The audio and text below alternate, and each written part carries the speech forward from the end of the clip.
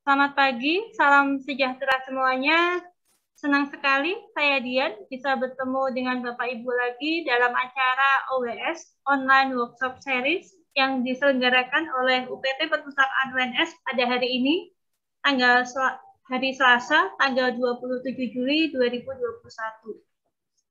Uh, sebagai informasi, OWS hari ini merupakan OWS keempat dari total tujuh OWS yang diadakan oleh UPT Perpustakaan UNS.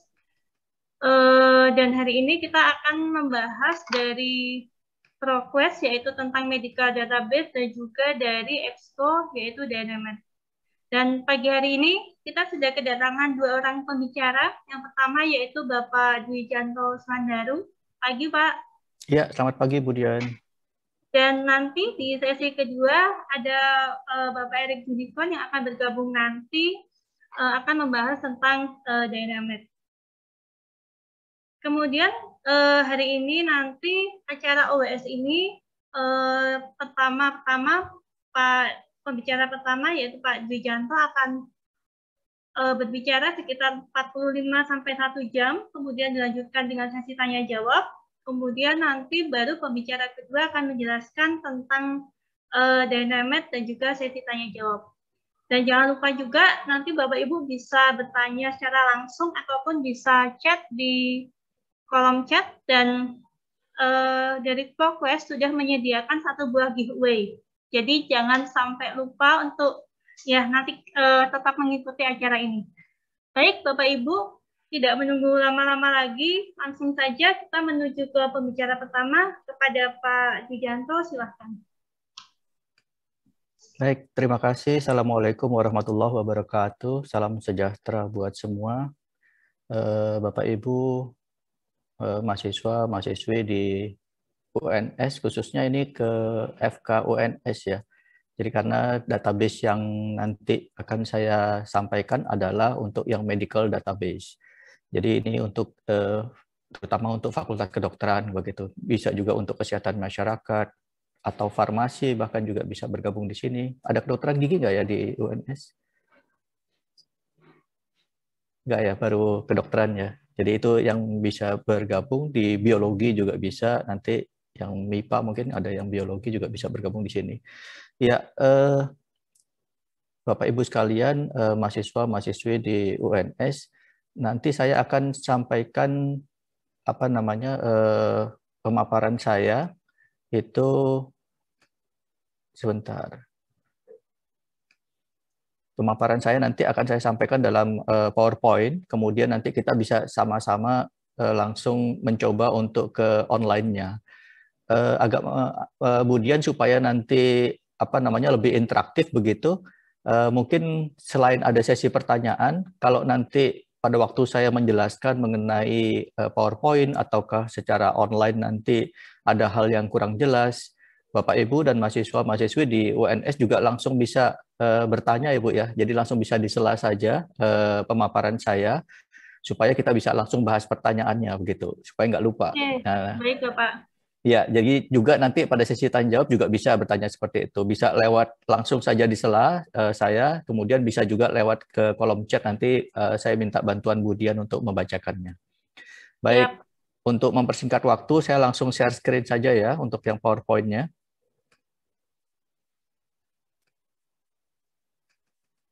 Uh, ini sudah kelihatan?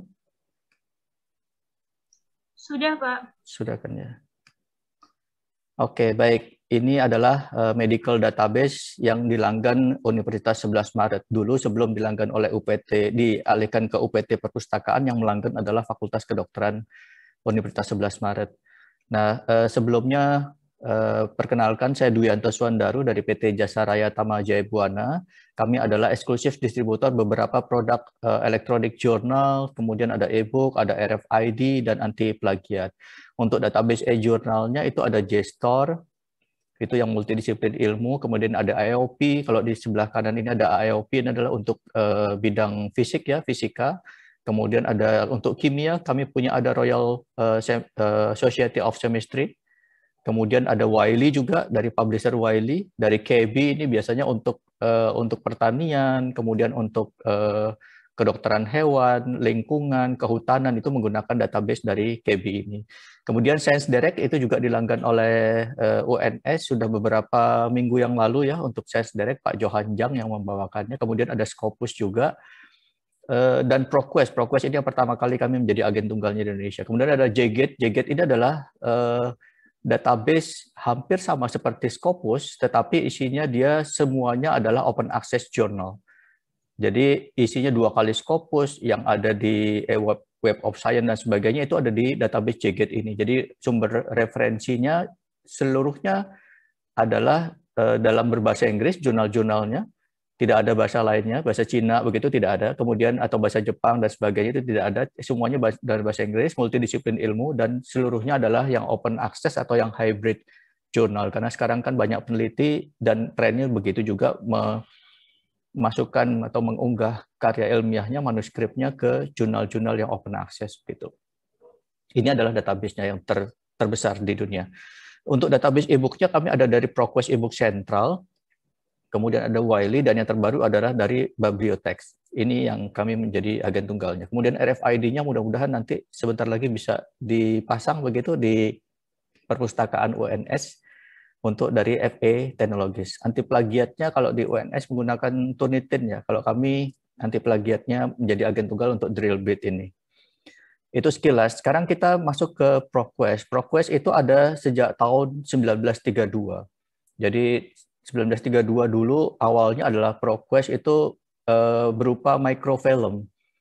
Bahkan uh, dan terus berkembang hingga saat ini uh, sudah menjadi PDF bahkan microfilm itu adalah hingga saat ini adalah penyimpanan yang terbaik untuk karya-karya ilmiah baik yang sudah digitalkan terbukti sampai seribu tahun pun untuk di microfilm itu tidak akan rusak. Beda dengan misalnya file yang tiba-tiba korup dan sebagainya atau CD atau kaset dan lain sebagainya. Jadi untuk sekarang microfilm dan ProQuest ini sudah ditunjuk oleh Eh, perpustakaan Library of Congress di Amerika.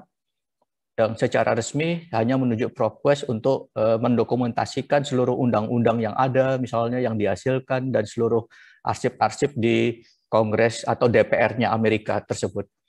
Kemudian uh, ProQuest ini juga uh, menyimpan banyak sekali informasi, baik itu arsip bersejarah sehingga hingga ke ilmu pengetahuan yang terbaru dan mengemasnya dalam teknologi digital hingga bisa lebih cepat ditemukan Eh, dan pengelolaannya. Karena uh, ProQuest ini merek tetapi dalamnya database-nya itu berbagai macam. Jadi ada ekonomi bisnis yang dulu pernah dilanggan juga oleh UNS kemudian dari kedokteran ada psikologi ada nursing ada farmasi dan lain sebagainya. Banyak sekali ini adalah dari ProQuest jadi digunakan oleh sebagai referensi penelitian uh, hampir semua jadi dari perguruan tinggi perusahaan lembaga pemerintahan sekolah-sekolah juga begitu bahkan ke perpustakaan umum jadi ini yang menggunakannya. Uh, ProQuest ini ada di Amerika, di Ann Arbor, uh, kantor pusatnya ada di sana. Saat ini ada beberapa uh, orang Indonesia yang sedang bekerja di sana. Peneliti-peneliti dari Indonesia juga bekerja di sana. Yang saya tahu saat ini ada lima ahli bahasa dari Indonesia yang sedang bekerja di kantor pusat ProQuest di Arbor sana yang tugasnya adalah untuk supaya hasil translate-nya nanti kita bisa, bisa translate loh full text-nya ke dalam bahasa Indonesia itu adalah hasil kerja dari mereka sehingga kualitas yang dihasilkan lebih tinggi daripada kalau kita menggunakan translate.google.com. Ada juga ada di Cambridge ininya apa namanya kantornya ada di Amsterdam dan lain sebagainya. Uh, ProQuest ini digunakan oleh 26.000 lebih perpustakaan di seluruh dunia di 150 negara itu sudah menggunakan database ProQuest dan 98% dari 400 top university itu memiliki akses referensi ilmiah ke ProQuest. Kemudian ada 130 juta mahasiswa dan peneliti memiliki akses ke ProQuest, 9.000 lebih publisher. Nah, publisher ini eh, dari Indonesia juga sudah banyak yang bekerja sama dengan ProQuest. Saya berharap nanti jurnal-jurnal yang diterbitkan oleh UNS bisa juga bergabung di ProQuest sehingga menjadi Eh, salah satu eh, syarat itu untuk jurnal ilmiah internasional.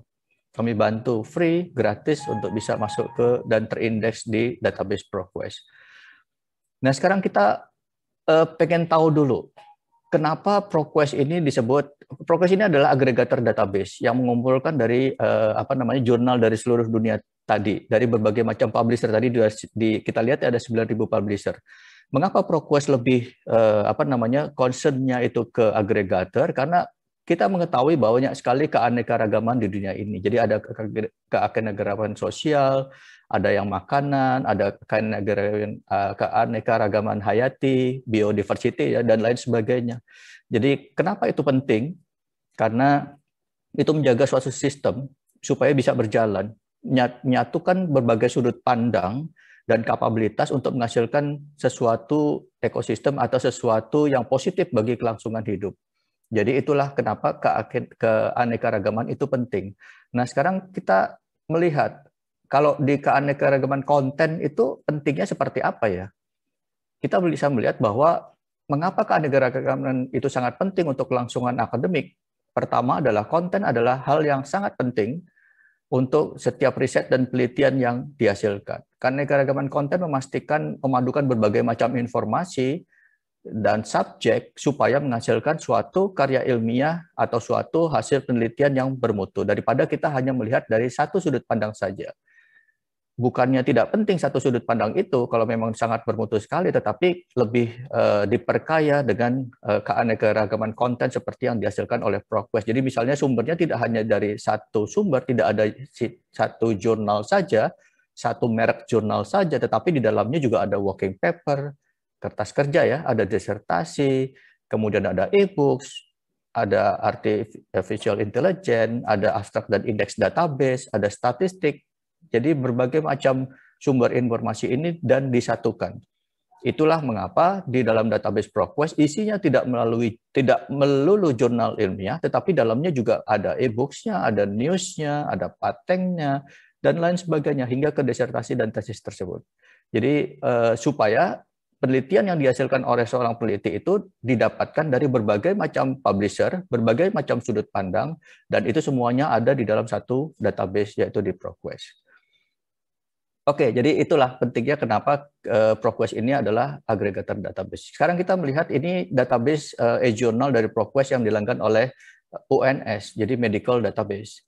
Sebenarnya medical database ini adalah satu keluarga begitu dengan database-database yang lain, misalnya untuk psikologi journal, nursing journal, ada juga medical and health, jadi kedokteran dan kesehatan masyarakat. Database itu ada tersendiri, bisa di-upgrade tentunya kalau Eh, kebetulan di UNS juga sudah ada ya kesehatan masyarakat ya prodi mudah-mudahan nanti kalau jadi fakultas itu bisa uh, mengupgrade database-nya menjadi medical and health database begitu jadi uh, apa namanya kesehatan masyarakat dan kedokteran. Nah melalui ProQuest Medical Library ini ada 1000 judul di dalamnya. Lebih dari 910 judul di antaranya adalah berupa full text. Jadi kita bisa melihat nanti uh, aksesnya seperti apa. Juga semua abstrak dan indeks itu didapatkan dari Medline database. Medline database adalah database yang sangat terkenal khusus untuk abstrak dan indeks. Itu semuanya bidang kedokteran akan uh, didapatkan dari Medline tersebut. Jadi Bapak Ibu uh, mahasiswa yang sudah biasa menggunakan Medline itu apa namanya indeksnya juga digunakan oleh database-database di dunia ini termasuk ProQuest. Jadi uh, ProQuest Medical uh, Database ini tidak hanya klinikal tapi juga biomedical journal collection. Jadi di dalamnya juga ada diagram, ada tabel, foto dan lain sebagainya yang mendukung tentunya dengan uh, keyword yang dicari nanti. Ini adalah uh, contoh dari jurnal-jurnal utamanya di dalam database ini, database medical database dari uh, ProQuest. Jadi mengcovering tidak hanya clinical tapi juga biomedical literature. Misalnya The New England Journal of Medicine. Ini hanya ada di ProQuest. Kemudian ada Lancet, kemudian ada jurnal uh, Cancer Institute misalnya, ada diabetes, terakhir adalah uh, American Journal of Public Health. That, that, uh, ini adalah contoh-contoh jurnal yang Bapak Ibu mahasiswa mahasiswi bisa uh, download artikelnya full text itu ada di medical database. Ini adalah uh, subject coverage-nya. Jadi hampir seluruh bidang ilmu di dalam kedokteran tentunya itu akan ada di dalam database ini. Jadi eh, selain nanti misalnya mendapatkan informasi langsung dari publisher eh, terkenal, misalnya Science Direct, ada Wiley, ada Springer dan lain sebagainya, itu adalah eh, publisher-publisher. Ada beberapa jurnalnya bergabung dengan ProQuest juga, tetapi dengan subject coverage yang ada dalam medical database ini akan didapatkan sumber-sumber informasi tidak hanya dari satu dua merek tetapi lebih uh, daripada uh, ratusan merek ratusan merek database.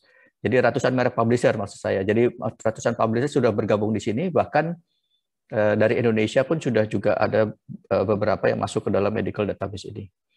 Nah, ini yang saya sampaikan tadi. Jadi bahwa uh, beberapa jurnal di Indonesia itu sudah kami bantu untuk bisa masuk di ProQuest, misalnya Folia Medica Indonesia, Medical Journal Indonesia. Sayang tidak ada di dalam database Medical Library ini, tetapi uh, sorry Medical Database ini, tetapi ada di uh, ProQuest uh, Health and Medical Database. Jadi database yang lebih besar itu akan ada di sana. Kemudian kalau kita lihat ini JIEB-nya punyanya UGM ya, Journal of Indonesian Economy and Business-nya UGM, Agrivita Fakultas uh, Pertaniannya Brawijaya, kemudian juga ada dari ITB, dari dari ITS, dari UI, dari eh, UAD dan lain sebagainya. Jadi banyak sekali uh, apa namanya jurnal-jurnal yang sudah bergabung di dalam database ProQuest itu.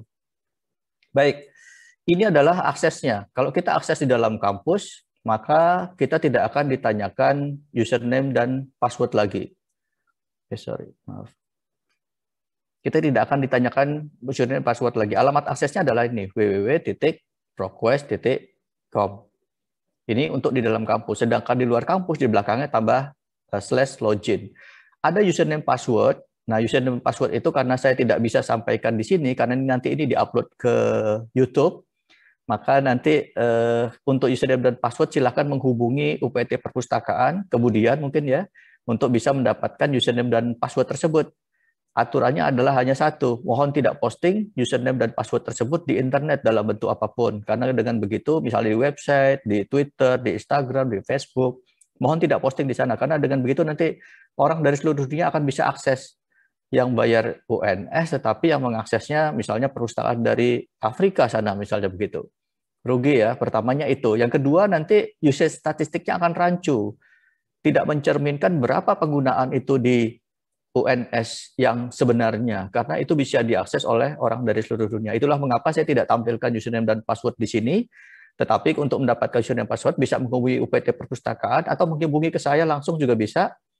E, nanti kalau ada hal-hal yang kurang jelas atau tidak bisa akses atau e, mencari sesuatu hal dan lain sebagainya bisa menghubungi saya langsung atau menghubungi ke UPT Perpustakaan UNS.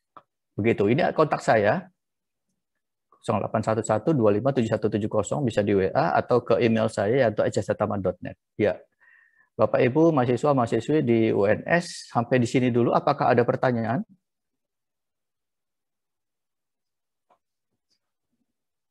Sebelum kita ke online, apakah ada pertanyaan? Masih belum ya?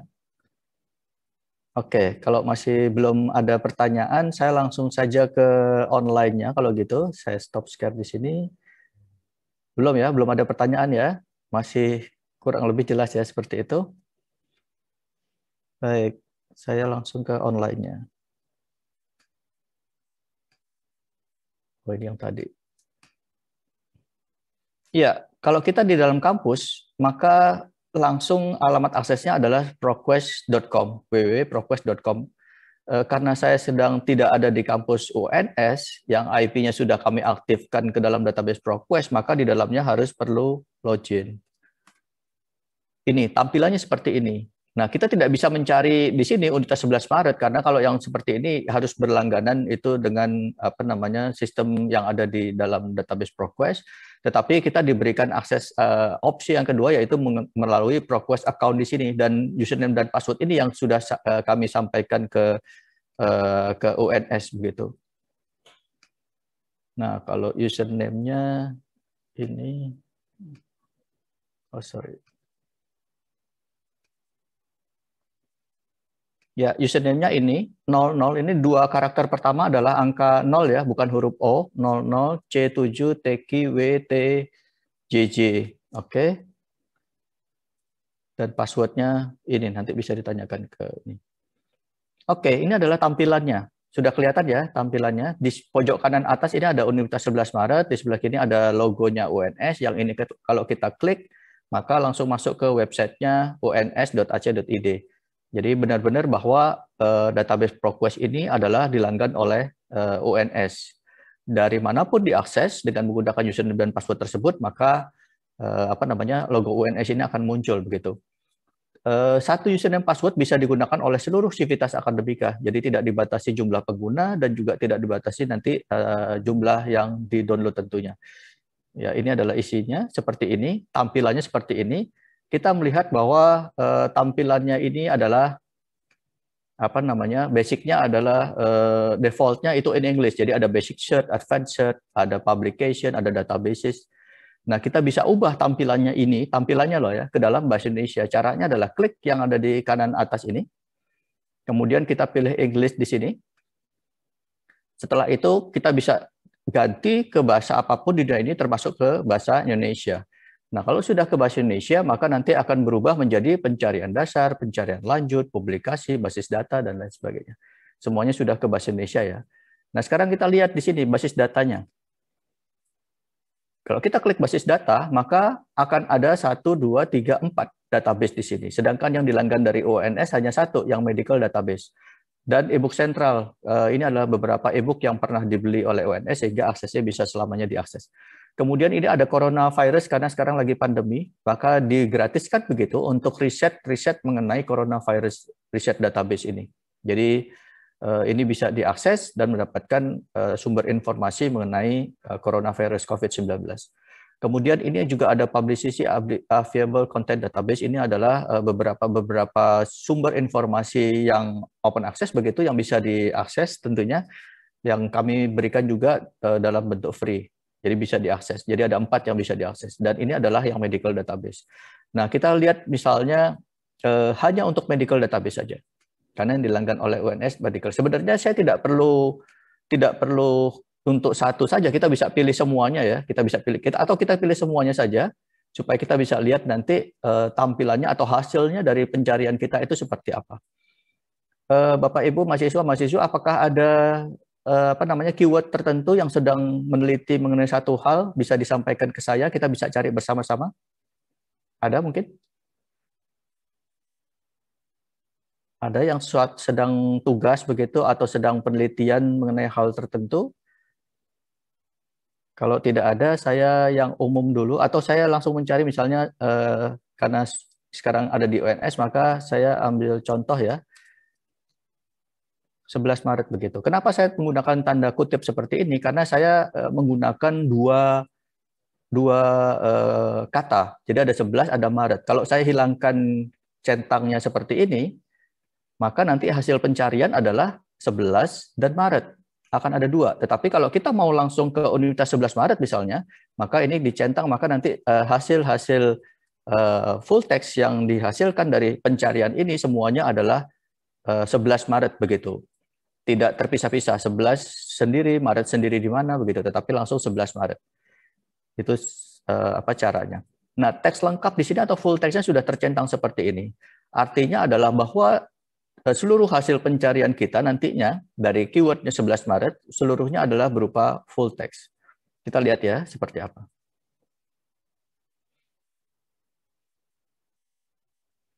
Ya, didapatkan ternyata 1.319 hasil dari 11 Maret ini. Oke. Ini ada Academic Motivation Papua Student in 11 Maret University.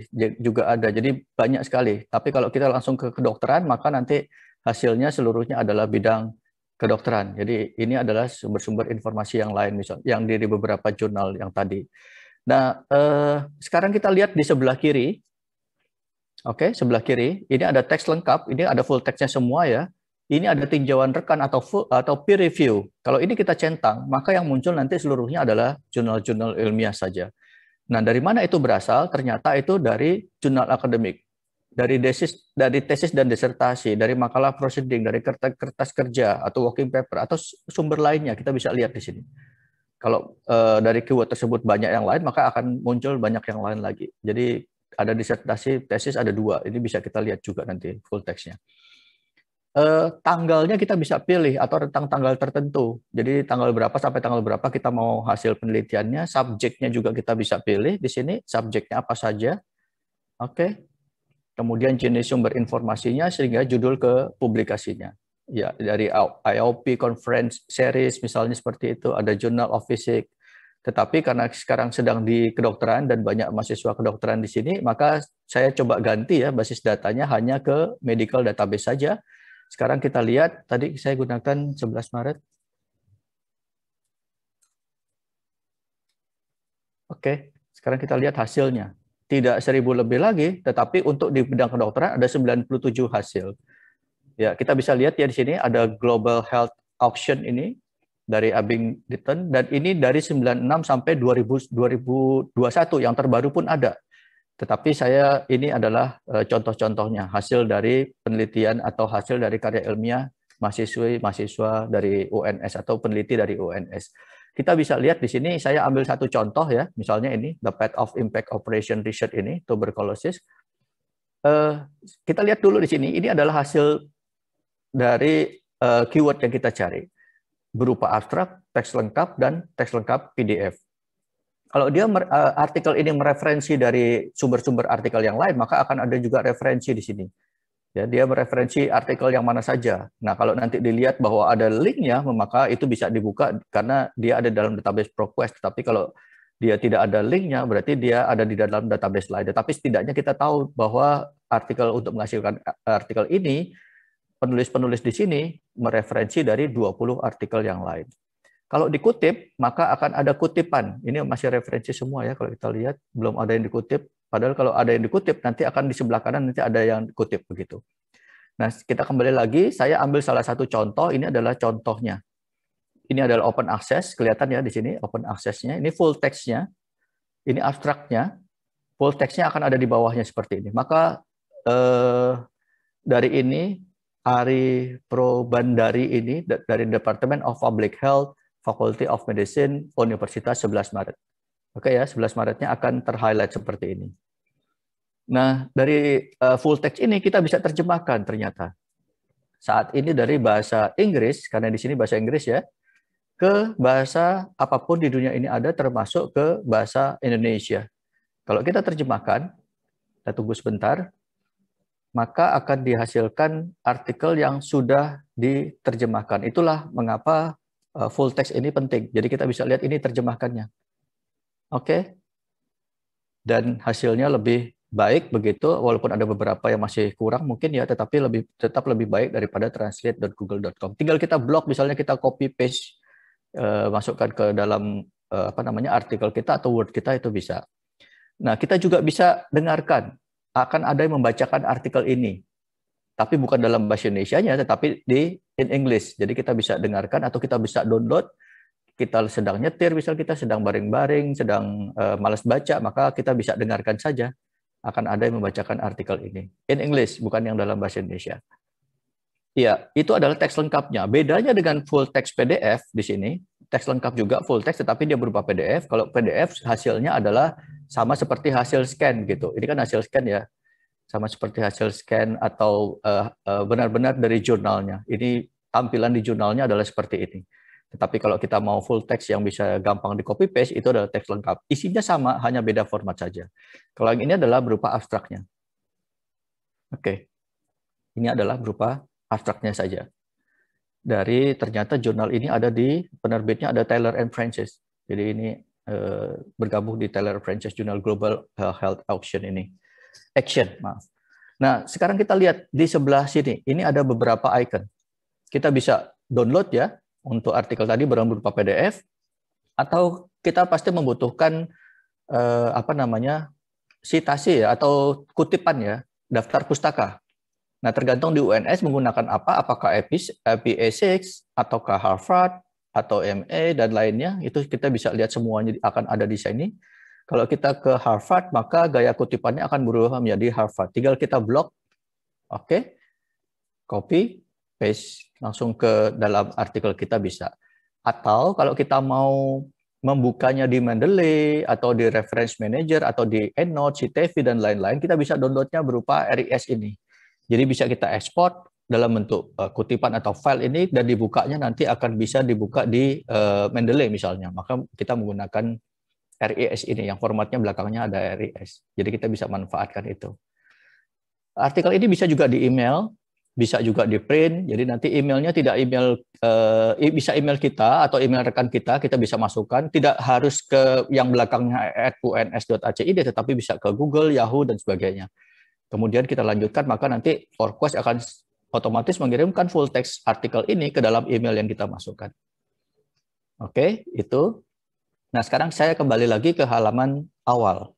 Kita lihat di sini kita sedang mencari misalnya peneliti ini saya ambil contoh saja ya 11 Maret Bapak Ibu bisa atau mahasiswa bisa uh, mencari yang lain itu dengan keyword yang lain uh, apakah 11 Maret apakah influenza atau misalnya COVID dan lain sebagainya kita sedang meneliti keyword yang saya masukkan ini untuk enam bulan ke depan misalnya hari ini saya sudah mendapatkan semua artikel ini sudah saya download semua tetapi saya pengen tahu apakah dalam bulan depan atau minggu depan itu ada artikel baru mengenai keyword yang saya masukkan, saya tidak perlu membuka ProQuest-nya lagi.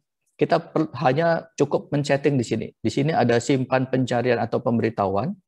Kita klik di sini, kemudian kita buat pemberitahuan atau create create uh, setup alert ya kalau belum di Indonesia kan maka buat pemberitahuan kita bisa namai pembuatan kita misalnya peneliti mengenai penelitian mengenai apa begitu Kemudian kalau di sini sudah ada ya di sini ya, yang dicari adalah 11 Maret. Tergantung dari keyword yang kita masukkan. Kemudian kirimkan ke mana? Ke dalam email kita eh, tentunya. Jadi kita masukkan di sini alamat email kita. Kemudian kita bisa diberitahukannya apakah itu harian ataukah itu mingguan. Mingguan juga hari apa? Karena sekarang hari Selasa atau kita bisa pilih hari Senin misalnya seperti itu. Dan berhentinya sampai kapan? Karena kan penelitian tidak sepanjang waktu ya, maka dibatasi di sini satu tahun. Setelah kita setting seperti ini, kita buat pemberitahuan, maka secara otomatis nanti ProQuest akan mengirimkan pemberitahuan ke dalam email yang di, kita cantumkan tadi kalau ada penelitian atau artikel terbaru mengenai uh, medical database ini atau mengetahui maaf, mengetahui uh, keyword tertentu yang kita masukkan tadi, maka kita akan langsung diberitahu akan ada penelitian atau artikel baru mengenai keyword yang kita masukkan dan kita bisa membukanya di medical database yang ada di UNS. Ya, itulah gunanya. Kita bisa juga centang ini, tidak hanya satu artikel, misalnya dua atau tiga, dibatasi sampai 50 artikel. Setelah itu kita klik email yang ada di sini.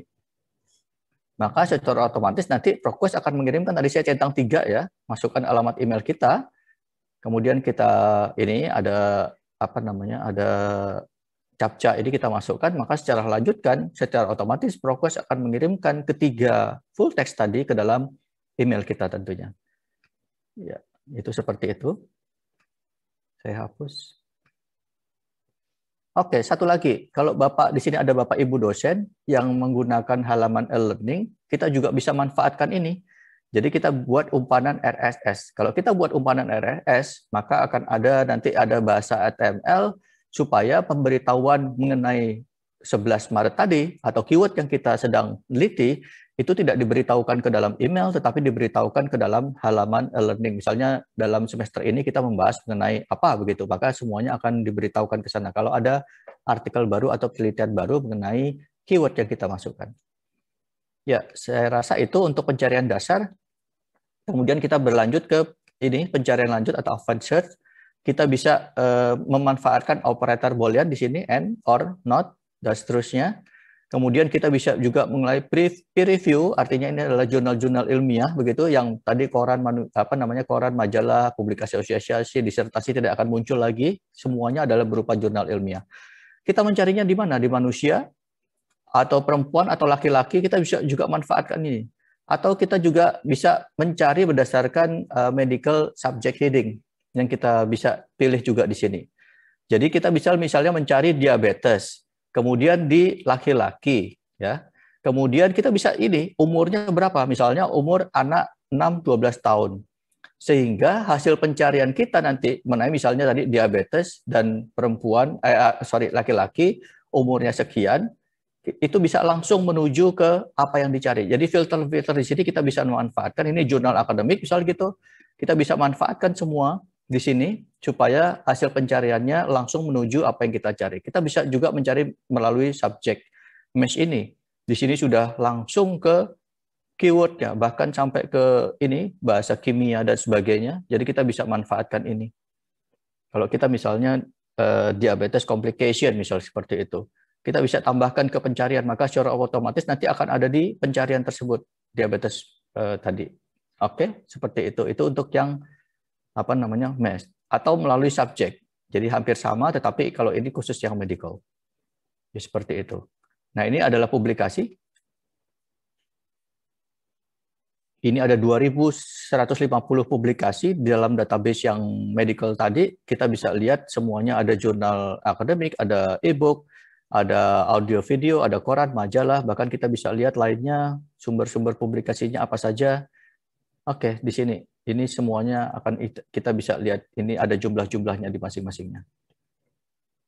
Oke, seperti ini kira-kira. Saya ambil salah satu judul jurnal ya, misalnya ini ABNF. Oke, ABNF Journal. Oke, kemudian terbit dari tahun berapa? Kita bisa lihat di sini, oh ternyata dia terbit dari tahun 1999 sampai dengan yang terbaru adalah 2020, yang 2021-nya belum terbit. Nah, kalau kita lihat di sini, lihat edisinya, ya, ini adalah isi dari jurnal tersebut. Kita bisa download semuanya, PDF-nya, ya, oke, kita download semuanya berupa PDF ini untuk jurnal ini ABNF eh, jurnal ini dari fall 2018 PDF-nya kita download semua. Setelah itu kita print, halamannya kita susun, kita masukkan cover. Kalau di sini tidak ada covernya, kita bisa cari langsung ke dalam jurnalnya, ke ABNF jurnal ini untuk mendapatkan covernya. Setelah itu dijilid, jadilah satu jurnal. Dan copyrightnya clear karena didapatkan dari ProQuest yang dilanggan oleh UNS. Ini menjadi bisa menjadi koleksi di eh, apa namanya di tempat Bapak Ibu sekalian di fakultas atau di jurusan uh, untuk jurnal-jurnal yang penting misalnya seperti itu bisa menjadi koleksi apa namanya uh, berupa cetak. Itu yang mengenai publikasi. Kalau ini tentang biasa saja kalau ganti basis data tadi kembali ke uh, apa namanya beberapa database tadi. Ya, saya kira itu yang bisa saya sampaikan mengenai apa namanya database medical journal ini. Sekarang Eh, apakah ada pertanyaan sampai di sini? Silahkan kalau ada pertanyaan. Ada yang kurang jelas atau yang ada mau bertanya silahkan. Tidak ada? Belum ada ya Budian ya? Belum ada yang bertanya juga ya? Ini belum ada yang tanya tuh ya Pak ya. Monggo teman-teman, Bapak Ibu, kalau mau bertanya tentang bagaimana mengakses medical uh, database-nya ProQuest, mumpung ada uh, Pak Diantonya. Iya, belum ada ternyata Ibu. Oke, baik. Uh, saya sekarang ada pertanyaan ini. Oke, yang menjawab eh, jangan dari perpustakaan ya, dari jangan dari UPT perpustakaan, tapi dari peserta ini, peserta apa namanya eh, webinar pada hari ini, eh, training online training online workshop series pada pagi hari ini. Saya ada satu pertanyaan untuk Bapak Ibu sekalian. Eh, tadi ada saya tampilkan di PowerPoint saya itu beberapa jurnal ilmiah yang penting begitu dan menjadi apa namanya eh, bagian dari medical journal. Boleh disebutkan satu aja nama jurnalnya. Siapa yang cepat lewat chatting boleh, siapa yang langsung eh, apa namanya langsung bersuara di sini juga boleh. Monggo. Jadi satu ada jurnal. ya Pak ya. Ada hadiahnya. Oh ya betul. Oh, ada hadiahnya Bapak Ibu. Satu polo shirt dari ProQuest. Silahkan yang mau menjawab, nanti ada hadiahnya bisa dikirim ke tempat uh, Bapak Ibu semuanya. Ada di perpustakaan, nanti saya kirim ke perpustakaan ya, nanti oh, bisa iya, diambil iya. di perpustakaan Bu ya, gitu ya, di Budian nanti. Ada yang mau jawab? Itu ada di chat itu Pak, betul apa enggak? Oh ada di chat, ada di chat. Uh, dari siapa ini? Mujahidatul. Mujahidul Masyir. Ada Wiley. Belum ya, Wiley itu publisher saya ingin tahu satu jurnal saja yang itu ada di dalam medical database ini. Tadi ada di PowerPoint saya ada beberapa jurnal ya, penting. Ya? ya, ada beberapa jurnal yang penting yang ada di dalam database medical ini yang itu uh, hanya ada di dalam database ProQuest. Kita bisa lihat. Ini ada juga pertanyaan. Ya, sambil kita nunggu ya yang menjawab. Selamat pagi. Jawabannya, silakan Pak. Ya, untuk jurnal-jurnal yang sudah masuk dalam database ProQuest sudah dievaluasi sehingga terjamin tidak masuk ke jurnal predatory. Benar. Jurnal-jurnal yang ada dalam database ProQuest itu ada MOU-nya antara ProQuest dengan uh, apa dengan dengan publishernya. Jadi benar-benar jurnal itu ada, bukan jurnal predatory karena sudah dilihat semuanya bahwa jurnal itu adalah jurnal yang benar-benar jurnal. Berbeda dengan yang hanya mengindeks abstrak saja, misalnya Scopus atau JG dan lain sebagainya. Nah, kalau itu adalah hanya mengindeks jurnal. Dievaluasi nanti setelah itu masuk. Setelah dievaluasi ternyata jurnal itu kok predatory. Jurnal itu kok ternyata jurnal abal-abal, maka akan dihilangkan dari eh, apa namanya dari pengindeks tersebut. Tapi kalau di ProQuest dijamin semuanya adalah bukan yang predatory atau jurnal yang abal-abal apakah diperkenalkan mendapat PPT penjelasan disampaikan? Boleh, nanti saya sampaikan ke Budian ya, nanti bisa di-sharing ke teman-teman yang ada di sini untuk apa namanya untuk mendapatkan PPT-nya. Kalau membutuhkan username dan password bisa menghubungi ke UPT Perpustakaan atau menghubungi saya langsung. Baik, Masih kurang jadi, jadi yang sudah jawabannya. masuk ke ProQuest itu sudah dijamin enggak uh, termasuk dalam jurnal predator gitu ya Pak ya? Betul, betul Budian. Baik, ini teman-teman, Bapak Ibu masih belum jawabannya masih belum tepat ini. Mbak. Masih belum tepat. Ada yang menyimak Jadi, mungkin dari awal tadi? Iya. Kalau nggak ada nanti bisa ke perpustakaan lagi nih. ya, belum ada ya. Oke, kalau gitu saya ganti pertanyaannya. Tadi jawabannya ya. ini. Jadi kalau yang tadi tuh jawabannya eh, ini. Sebentar saya lihatkan ya. Bahwa di dalam database ProQuest itu uh, sorry jurnal-jurnalnya yang jurnal pentingnya adalah ada beberapa eh bukan di sini nah ini ini Oke, okay, ini adalah jurnal-jurnal yang ada dalam database uh, medical database tadi. The New England Journal of Medicine, ada Lancet, ada diabetes dan lain sebagainya. Ini adalah jurnal-jurnal yang ada dalam database tersebut, dalam database medical database. Oke, okay. Belum ada ya yang berhasil menjawab pertanyaannya. Oke, sekarang pertanyaan yang lebih gampang. Untuk di dalam database uh, medical tadi, uh, atau sorry, ada dalam database uh, ProQuest yang ada di UNS, selain selain apa namanya selain yang medical database ada berapa database lain yang bisa diakses secara bersama-sama di dalam satu platform yang ada di langgan oleh UNS tersebut ada dan sebutkan apa saja? Atau jumlahnya saja deh. Ada yang menjawab?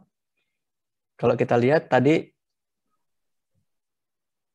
yang bisa menjawab selain database medical database, kalau kita ubah database-nya tadi ada beberapa database lainnya yang bisa diakses bersama-sama dalam database medical ini. Ada yang bisa jawab?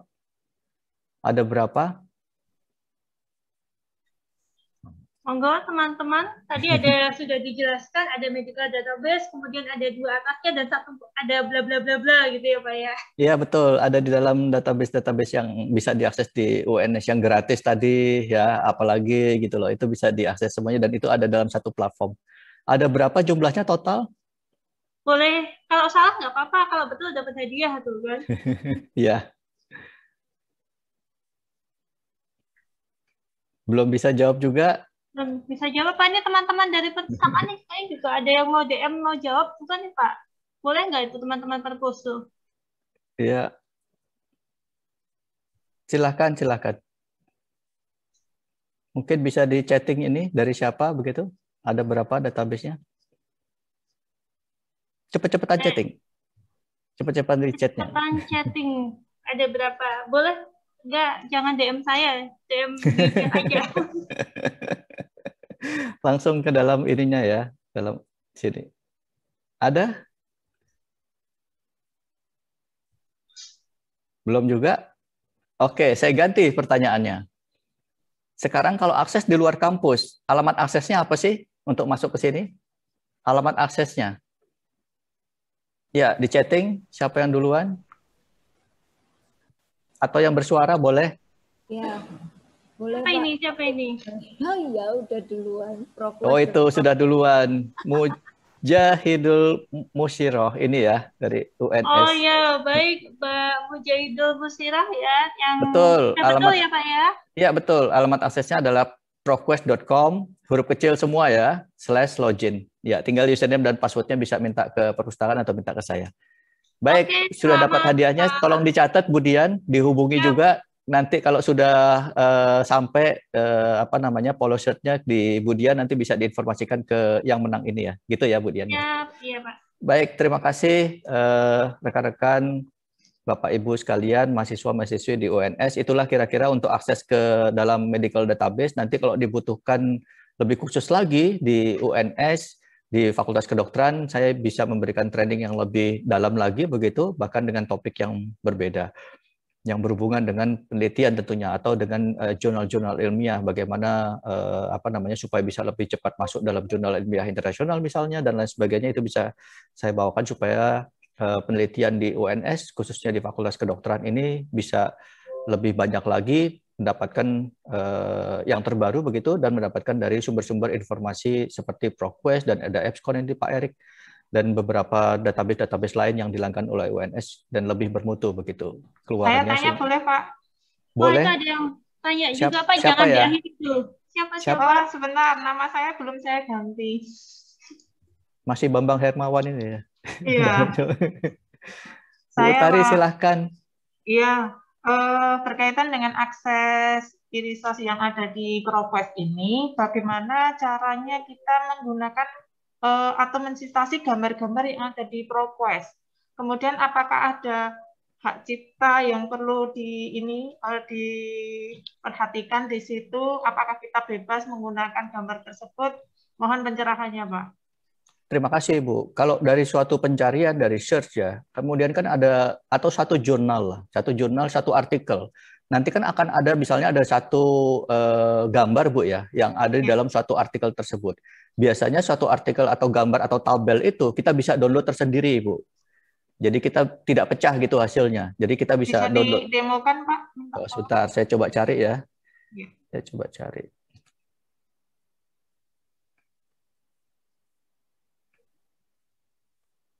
Sudah kelihatan ya Bu ya? Sudah. Oke. Saya nyari misalnya virus gitu ya. Supaya kita bisa mendapatkan ini sumbernya.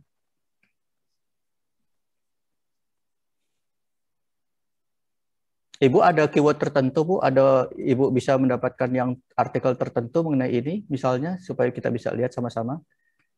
Atau kita kita coba ya, coba di sini ini ada ini abstraknya yang saya Mungkin ginger, Pak, jahe. Kaitannya Ya. dengan virus, ini lagi tren. Oke, oh ini nggak ada gambarnya Ibu. Kalau ada gambarnya kita bisa lihat sebentar. Kita kembali lagi ya. Ya.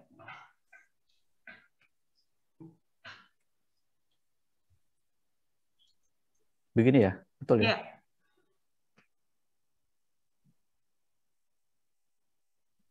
Oke, ini ini adalah eh, ininya.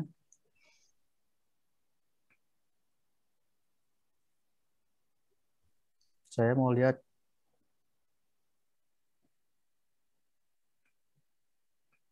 nyari satu gambar dulu. Mungkin ada di sini. Kalau dia ada di sini, Bu, gambarnya oh nggak ada juga tuh, Bu. Agak ini. Harus satu-satu ya, cari tidak bisa. Kalau ada gambarnya, misalnya di sini, di sini ada gambarnya, misal Bu ya, dia akan bisa di highlight atau atau di di apa namanya diperbesar begitu Bu. Hmm. Eh, nanti kita bisa klik kanan, ya, kita download tersendiri.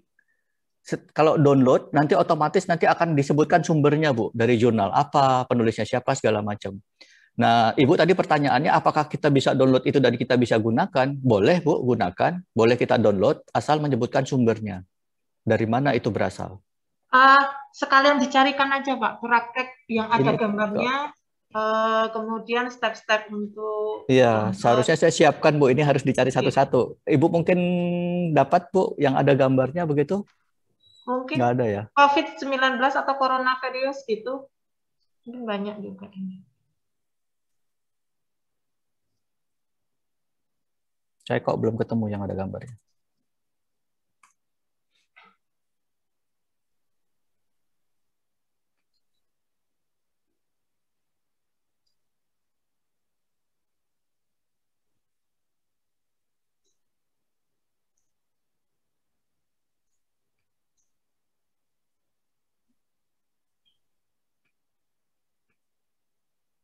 Oh ini ini teks lengkapnya berupa ini.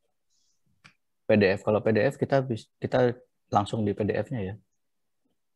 Iya. Kok nggak ketemu Bu ya yang ada gambarnya langsung gambar tertentu biasanya ada di sebelah kanan image.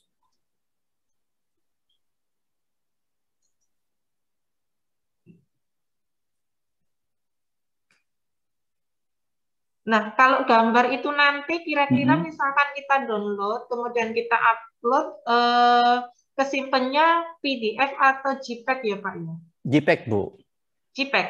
JPEG. Oh, Tapi Ibu harus kalau mau menggunakan itu tadi Bu ya harus menyebutkan sumber sumbernya dari mana Bu ya. hmm. Eh, belum ketemu Bu. Nanti kalau sudah ketemu saya bisa sampaikan ke Ibu langsung di perpustakaan Bu ya. Siap. Oke. nanti Bu, nanti saya sampaikan yang judulnya sudah ketemu. Nanti saya apa capture capture saya bisa kasihkan ke Bu Utari. Oh iya Pak, saya tanya juga bisa Silakan Pak? kemudian. Boleh kemudian silakan. Kalau eh, di Progress ini apakah ada keterangan bahwa oh jurnal eh, X itu paling banyak dipakai sama eh, dosen dan juga mahasiswa di UNS itu bisa nggak kita bikin daftar apa statistiknya gitu? Boleh Bu. Jadi kelihatan kalau di statistiknya Ibu bisa tinggal minta ke saya. Nanti saya sampaikan selain usage Bu ya, juga ada eh, lebih detail lagi jurnalnya Bu. Jadi bisa kelihatan jurnal apa yang lebih banyak digunakan nantinya. Bisa bisa Ibu tinggal minta aja ke saya, nanti saya sampaikan apa namanya eh, listnya di dalam usage itu akan kelihatan Bu. Begitu? Oke, baik-baik. Ya, baik. Kalau memang tidak ada pertanyaan lagi, bisa saya cukupkan sampai di sini, Bu ya. Udah satu jam kurang lebih ini, hampir jam 10. Nanti giliran Pak Erik yang berikutnya. Maaf ada pertanyaan satu Bapak. Boleh, boleh. Oh, Dari ya. siapa ini? Ini dari Bu Mas Riatun. Oke, silakan Ibu. Iya. Eh, mau tanya, kalau misalnya mau upload jurnal ke Profe ke itu Mm-mm. gimana? Caranya, artikel Makanya. Ibu maksudnya Bu ya, manuskrip Ibu Ya. mau di Ya. trade di ProQuest. Baik. In- Iya, ProQuest itu ada. Oke. ProQuest itu bukan publisher, Bu. ProQuest itu adalah agregator database yang artinya mengumpulkan jurnal, jurnalnya Bu ya, dari seluruh dunia dan itu salah satunya adalah di, kita, digabungkan oleh ProQuest menjadi medical database tersebut. Sehingga kalau Ibu mau masukkan artikel Ibu ke dalam jurnal ilmiah dan itu terindeks di ProQuest, tentu kita harus nyari dulu jurnalnya, Bu. Jurnal apa yang kita mau masukkan, kemudian apakah jurnal itu terindeks di ProQuest. Kalau jurnal itu terindeks di ProQuest, secara otomatis nanti artikel Ibu yang sudah masuk ke dalam jurnal itu akan ada di dalam database ProQuest tersebut. Misalnya PLOS ONE dan sebagainya. Kalau saya bisa share screen sedikit lagi, Oh, berarti udah harus masuk di jurnal tertentu terlebih dahulu ya? betul, di publikasi ini bisa kelihatan, Bu. Di publikasi ini bisa Oh. kelihatan, ini jurnal-jurnalnya yang ada dalam database ProQuest. Ibu masukkan ke salah satunya di sini. Nah, kalau sudah masuk di sini, otomatis nanti jurnal apa namanya bisa dicari di dalam database ProQuest. Kalau publisher kan langsung, misalnya Springer itu langsung ke, ke ada tersedia sendiri, ada dashboard tersendiri bu ya bisa upload jurnalnya dan sebagainya atau Wiley atau di Science Direct di Elsevier itu kan akan ada ininya bu ya, ada uh, platform tersendiri untuk kita bisa milih jurnal apa yang ada dalam Science Direct misalnya gitu. Kemudian kita bisa upload manuskrip kita dan seterusnya. Begitu juga di Wiley itu publisher bu. Emerald itu bisa juga seperti itu. Nah, kalau yang ini ProQuest dan EBSCO adalah agregator database, mengumpulkan jurnal dari seluruh dunia. Jadi Ibu harus masukkan dulu ke dalam jurnal-jurnal yang ada di sini, baru nanti bisa dicari di ProQuest. Kira-kira begitu, Bu? Oh iya iya, terima kasih. Ya, terima kasih. Ya. Ada lagi pertanyaan? Sebelum saya Ada. tutup, Eh, Oke. Ini Pak, silakan. saya tanya lagi. Ini Bu, kebetulan siapa ini? saya Putari Pak. Oh, Bu Tari, ya nggak kelihatan soalnya pakai masker, Bu. Silakan, Ibu. Ini kebetulan saya in- eh, akses ProQuest ya dari HP. Mm-mm. Nah, kemudian di sini ada product and service. Di situ Ap- ada library management. Bisa dijelaskan di situ, Pak? Eh, seperti apa tampilannya, Bu ya? Eh, Yep. gimana ya? Kelihatan enggak, Pak? Mana Ibu? Nggak Coba. kelihatan. Eh, ini di di product and service, ProQuest, about ProQuest, Ya, di product and service, oke. Nah, Kemudian ada library management. Nah, itu ada tiga, ada Polar, Polaris, Sierra, kemudian ada Alma. Nah, itu maksudnya apa ya, Pak ya? Ada apa, Bu? Ada ada Polaris, Sierra, kemudian Alma. Nah, itu uh, fungsinya untuk apa? Kaitannya dengan library management. Ada oh gitu, Ibu. Ya. Itu itu di produk and service Bu ya. Berarti di produk-produk lain selain medical Bu itu. Oh gitu. Ya, bukan di bukan di dalam medical database-nya, tetapi itu adalah produk-produk lain dari ProQuest yang ibu bisa juga langganan, misal gitu, atau bisa akses, oh, atau gitu. dia apa namanya semacam apa, uh, e-learning misalnya begitu bu, itu bisa disatukan dengan ProQuest misalnya, misalnya Moodle dan lain sebagainya. Itu oh. kira-kira seperti itu. Itu produk-produk lain bu, itu karena di produk and service ibu ceknya, oh. bukan di medical database. Baik, terima kasih. Ya, terima kasih bu. Ada Baik. pertanyaan lagi? Masih ada kalau, pertanyaan lagi, teman-teman, Bapak Ibu semuanya? Kalau memang tidak ada, bisa saya cukupkan sampai di sini ya, uh, Ibu. Jadi terima kasih uh, apa namanya atas perhatiannya, untuk atas kedatangannya, untuk bisa bergabung di Zoom ini. Dari saya, uh, saya cukupkan sampai sini. Mohon maaf kalau ada kata-kata yang salah. Assalamualaikum warahmatullahi wabarakatuh. Waalaikumsalam warahmatullahi wabarakatuh. Terima kasih Pak Duyanto. Dan kita sekarang masuk ke pembicara selanjutnya. Sudah hadir di tengah-tengah kita uh, Bapak Erik Unicorn, Regional Sales Manager dari EBSCO. Selamat pagi Pak. Selamat pagi Bu Dian. Oke, Apa kabar? Kita langsung saja. Alhamdulillah baik. Kita langsung saja supaya waktunya sama-sama cukup ya Pak ya. Ya. Silakan. Baik, saya akan langsung mulai. Sebelumnya saya ucapkan terima kasih telah difasilitasi untuk kegiatan ataupun sesi pada kali ini. Jadi apa yang nanti saya akan presentasikan akan sedikit berbeda dengan apa yang sudah Pak Duyanto presentasikan. Jadi kalau Pak Duyanto berkaitan dengan database jurnal, kalau untuk yang dari saya ataupun dari EBSCO ini adalah berkaitan dengan evidence-based medicine. Jadi uh, mungkin bisa dikatakan unik karena kita di Indonesia sendiri belum banyak yang tahu mengenai uh, konten yang berkaitan dengan evidence-based medicine ini, walaupun sudah banyak yang menggunakan sebenarnya. Jadi saya langsung mulai saja. Ini sudah saya share untuk slide presentasi yang saya gunakan. Saya akan uh, mematikan video agar lebih stabil untuk jaringan internet yang saya gunakan. Kemudian ini adalah agenda kita untuk sesi pada saat ini. Jadi kira-kira kurang lebih 45 menit ke depan saya akan sampaikan uh, apa itu evidence-based medicine, termasuk juga uh, database untuk Dynamed yang sudah dilanggan, termasuk juga nanti saya akan lakukan live demo bagaimana cara untuk pemanfaatannya. Sedikit perkenalan siapa itu EBSCO. Uh, EBSCO Information Service kami berada di bawah uh, naungan EBSCO Industry, di mana saat ini telah berdiri uh, lebih dari 75 tahun.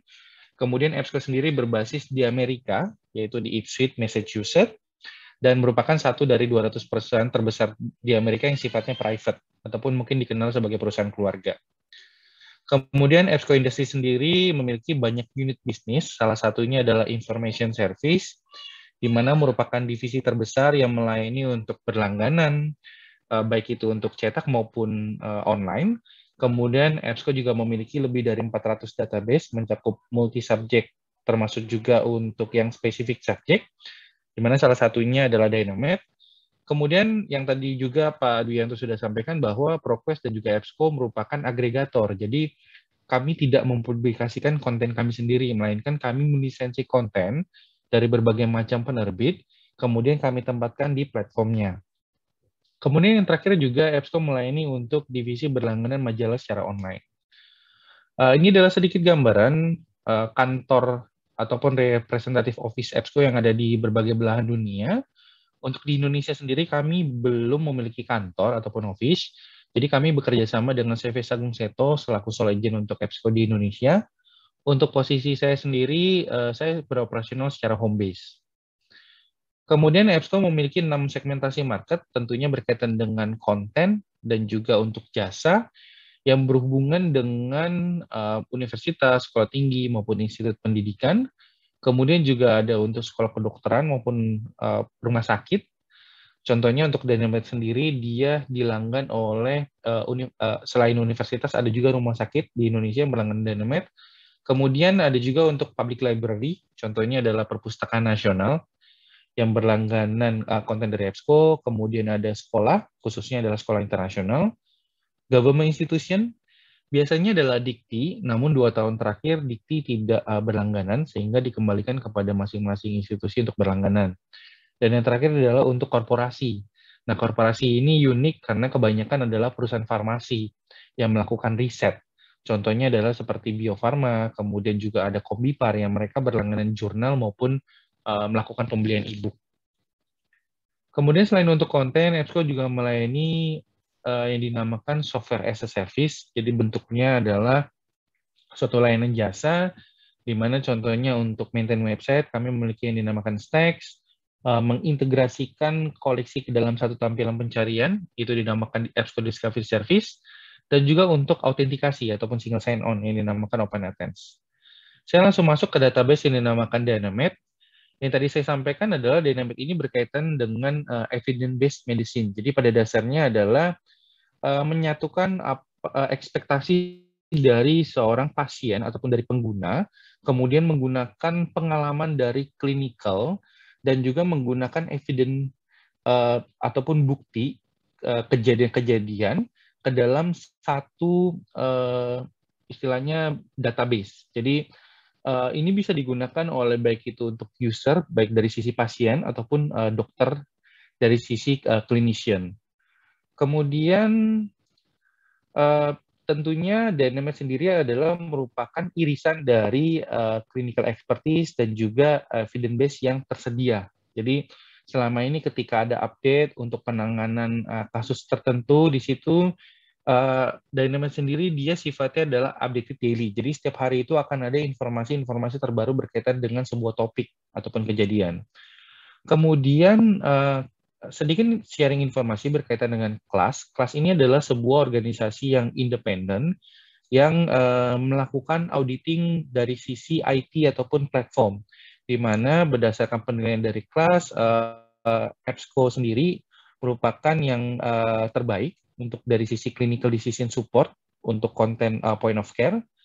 Dan kalau dibandingkan dengan uh, provider yang lain seperti Walter Kluwer dengan UpToDate yang sejenis maupun untuk Elsevier dengan Clinical Key, uh, Dynamic sendiri dia mendapatkan poin yang uh, lebih baik dibandingkan dengan yang lain. Kemudian uh, apa sih itu Dynamic? Jadi pada dasarnya kontennya sendiri uh, merupakan hasil dari kerja ataupun da, uh, merupakan editor uh, editing dari tim editorial yang berkaitan dengan bidang-bidang uh, yang mereka geluti dan tentunya expert di bidangnya masing-masing. Dan topik-topiknya yang disampaikan ataupun dituliskan sendiri dia sudah peer review. Jadi sudah uh, melalui penilaian, sudah melalui uh, istilahnya percobaan di sana. Kemudian yang menyusun sendiri dari konten Dynamite ada sekitar lebih dari 125 physician ataupun scientist dan juga dia mencakup uh, berbagai belahan dunia. Jadi tidak hanya informasinya itu datang dari uh, istilahnya Eropa maupun Amerika, namun juga ada evidence base yang datang dari Afrika, kemudian ada juga dari Asia maupun Australia. Jadi kontennya cukup global. Dan uh, Dynamic sendiri dia meng, uh, menggunakan metodologi evidence based di mana tentunya yang pertama melakukan identifikasi uh, evidence yang terjadi ataupun yang digunakan, kemudian memilih evidence mana yang terbaik yang ingin yang perlu untuk digunakan. Kemudian melakukan penilaian ataupun memberikan um, masukan maupun kritik di sana. Setelah itu dibuatkan uh, laporan. Jadi laporan setelah laporannya uh, dibuat akan menggunakan evidence kembali untuk uh, sebagai perbandingan dan juga sebagai uh, reference dan pada akhirnya dibuatkan hasil laporan dan juga uh, rekomendasi. Kemudian ini adalah kira-kira uh, gambaran prosesnya. Pada dasarnya Dynamic itu juga menggunakan uh, berbagai macam jurnal dan kalau selama ini kan kita tahu kalau jurnal itu kita harus baca ya. Setelah itu kita buat laporan ataupun uh, buat kesimpulan. Nah di Dynamic sendiri kita tinggal gunakan sebenarnya karena selain menggunakan evidence base konsepnya dia juga memonitor berbagai macam jurnal kontennya, kemudian juga laporan-laporan dari organisasi seperti WHO, CDC, FDA maupun uh, dari wilayah yang lain. Kemudian dikelompokkan berdasarkan subjek ataupun spesialis. uh, kemudian juga dibuatkan uh, laporan dan juga uh, informasi rekomendasi di sana. Oke, okay. uh, selama ini ada pertanyaan uh, berapa banyak sih artikel yang kita baca dalam satu hari ataupun satu minggu ataupun dalam satu bulan? Karena tentunya sebagai uh, praktisi ataupun sebagai dokter ataupun sebagai user tentunya uh, waktu kita itu dalam satu hari 24 jam itu terkadang tidak cukup. Nah, kapan kita punya waktu untuk hal tersebut? Nah, di sinilah uh, membantu pengguna baik itu untuk uh, praktisi maupun uh, dokter untuk mempersingkat waktu di sana. Jadi untuk mempermudah pada dasarnya. Dan uh, sendiri menggunakan sistem uh, grade. Grade ini adalah di situ akan dicantumkan uh, berupa rekomendasi. Apakah sifatnya rekomendasi ini adalah sudah kuat, tentunya dengan evidence base ataupun dengan uh, rekomendasi dan reference yang cukup banyak, ataupun yang dia sifatnya uh, lemah. Jadi mungkin karena dia masih baru, belum ada evidence yang uh, mendukung untuk selanjutnya, hingga level strong. Kemudian juga di evidence ini juga ditempatkan uh, grading. Jadi ada yang sifatnya high, ada yang moderate, ataupun dia low. Jadi kira-kira gambar ini nanti seperti ini. Jadi di setiap informasi yang ditampilkan akan ada keterangan strong recommendation maupun a weak recommendation. Kemudian selain itu juga akan ditampilkan juga evidence evidence-nya ini sudah level mana ya? Satu, dua, ataupun tiga, seperti itu. Jadi uh, setiap pengguna itu akan dapatkan uh, informasi di sana dan juga agar lebih yakin apakah memang uh, sudah sesuai atau belum. Kemudian juga di sini dilengkapi dengan uh, informasi laporannya ataupun uh, referensinya.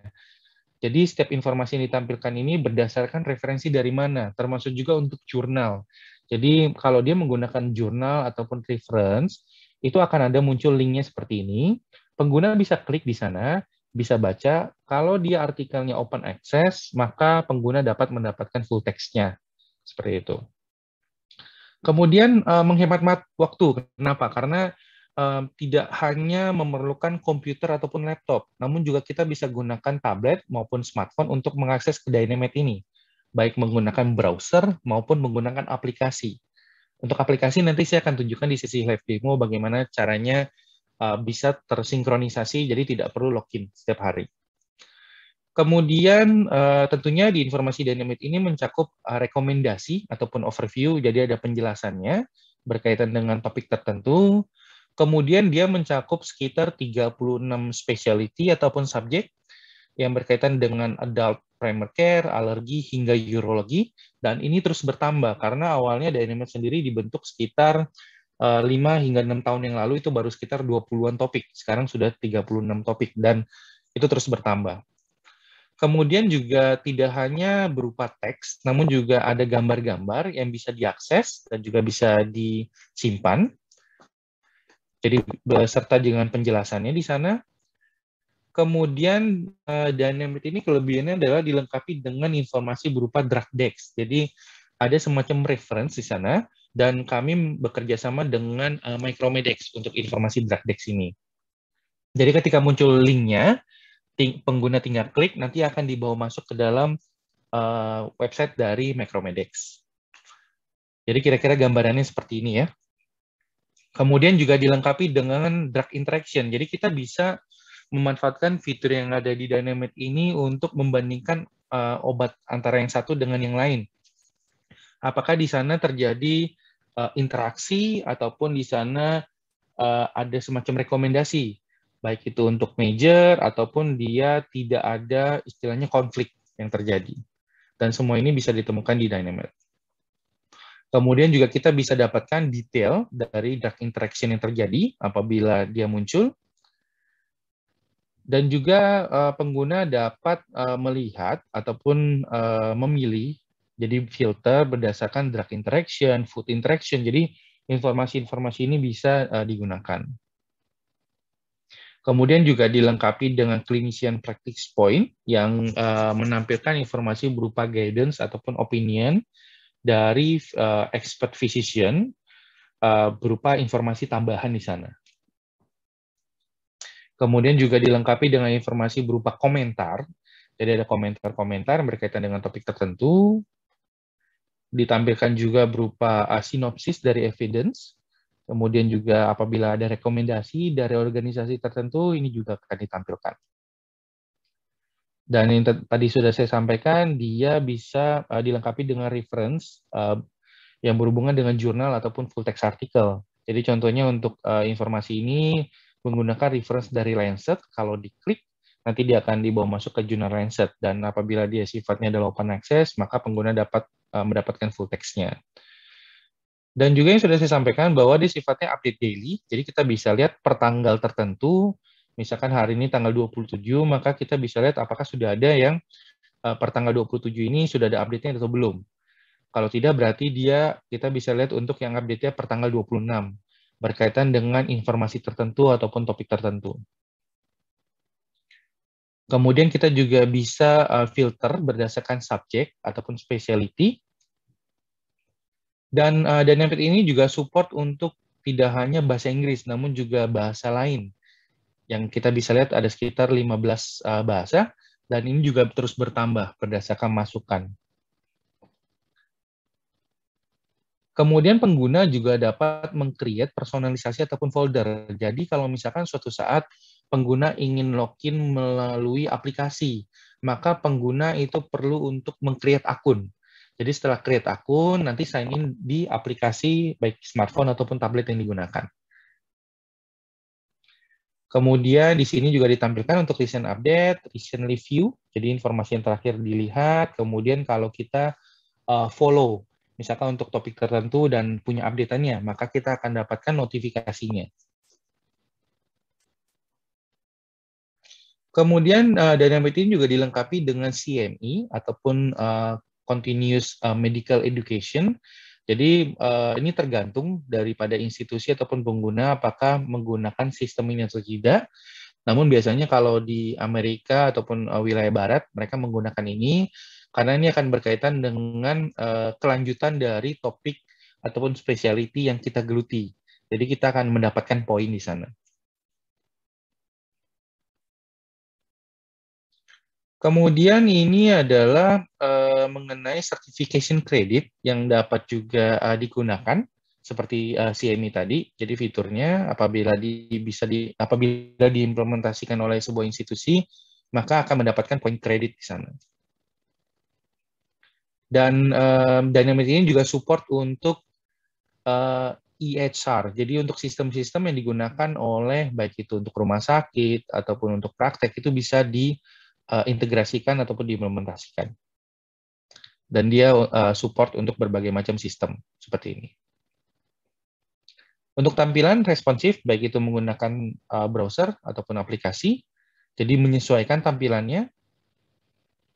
Kemudian juga in, bisa diakses tidak hanya dari kampus, namun juga dari luar kampus. Cukup uh, sign in dengan user di password, atau kalau dari aplikasi, sign in satu kali untuk digunakan selama tiga bulan. Jadi setelah tiga bulan kita perlu untuk sign in kembali untuk memastikan apakah penggunanya masih terafiliasi dengan institusi tersebut atau tidak. Jadi aplikasinya gratis dan sudah bisa ditemukan di iOS maupun Android, bisa langsung diinstal.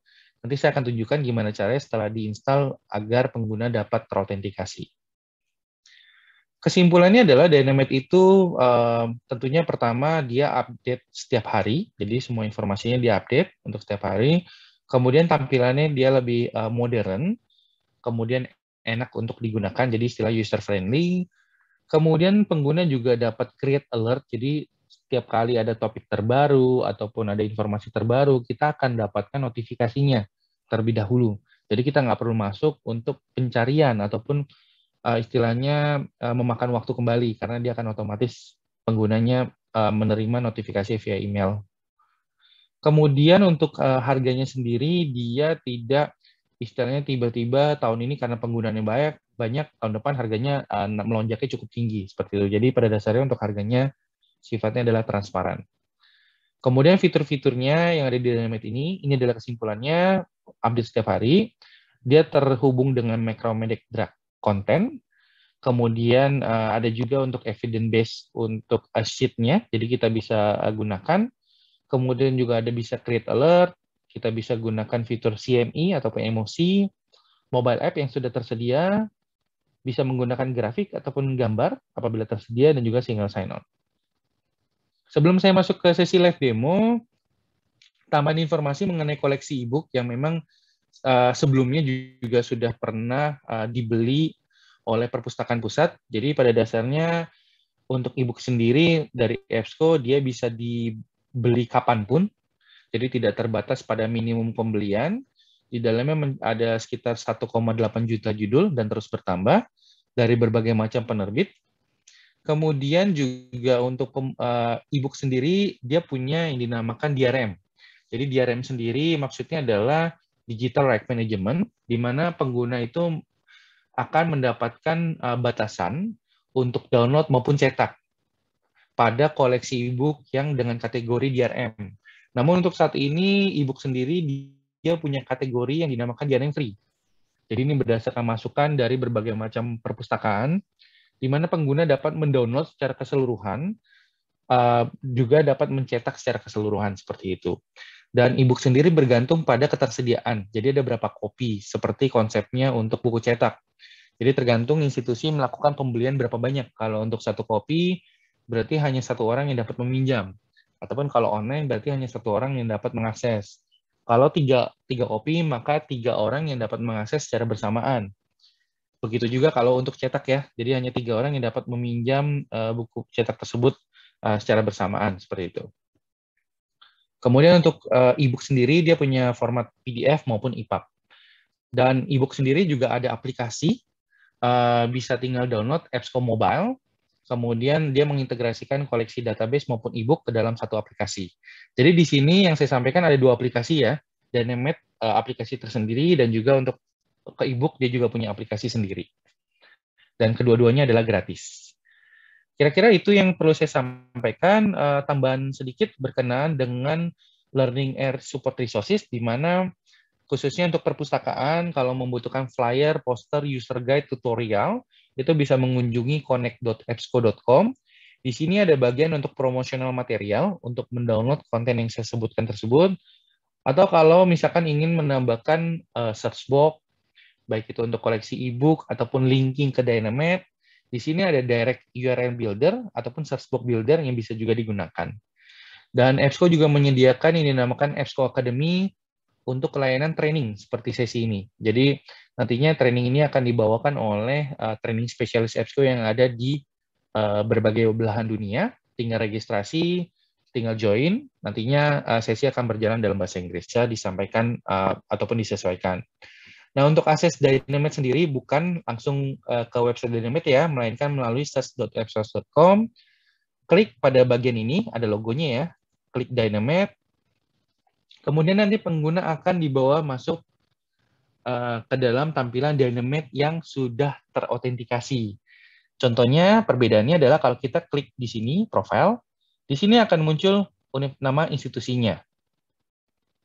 Jadi muncul ya nama institusinya. Kemudian pengguna sudah bebas. Uh, tidak ada batasan untuk user ID password berapa banyak pengguna uh, mengakses dalam waktu bersamaan. Jadi kalau misalkan ada 100 orang, ada 1000 orang bahkan, itu dimungkinkan. Asalkan kalau pengguna mengakses uh, pada jaringan berbeda. Kalau dari jaringan yang sama bergantung pada bandwidth. Jadi kalau bandwidthnya itu kecil ya otomatis akan lambat ya. Namun kalau kita gunakan jaringan sendiri ya tidak akan bermasalah seperti itu. Kemudian ini adalah tampilan Dynamite. Jadi ada satu kolom untuk melakukan pencarian. Di sini ada support bahasanya ada sekitar 15 dan uh, tentunya akan terus bertambah nantinya ke depannya.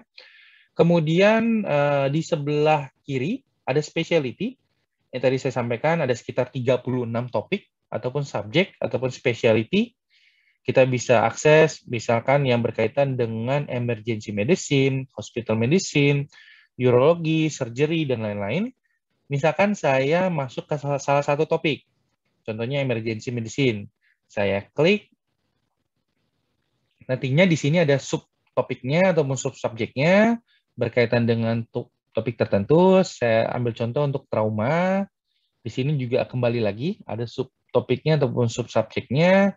Saya pilih untuk head trauma. Ada lagi ya detailnya lebih detailnya lagi cakupan topiknya. Misalkan berkaitan dengan yang pertama ini. Saya klik informasinya. Nah, inilah uh, isi ataupun konten yang ada di Dynamite.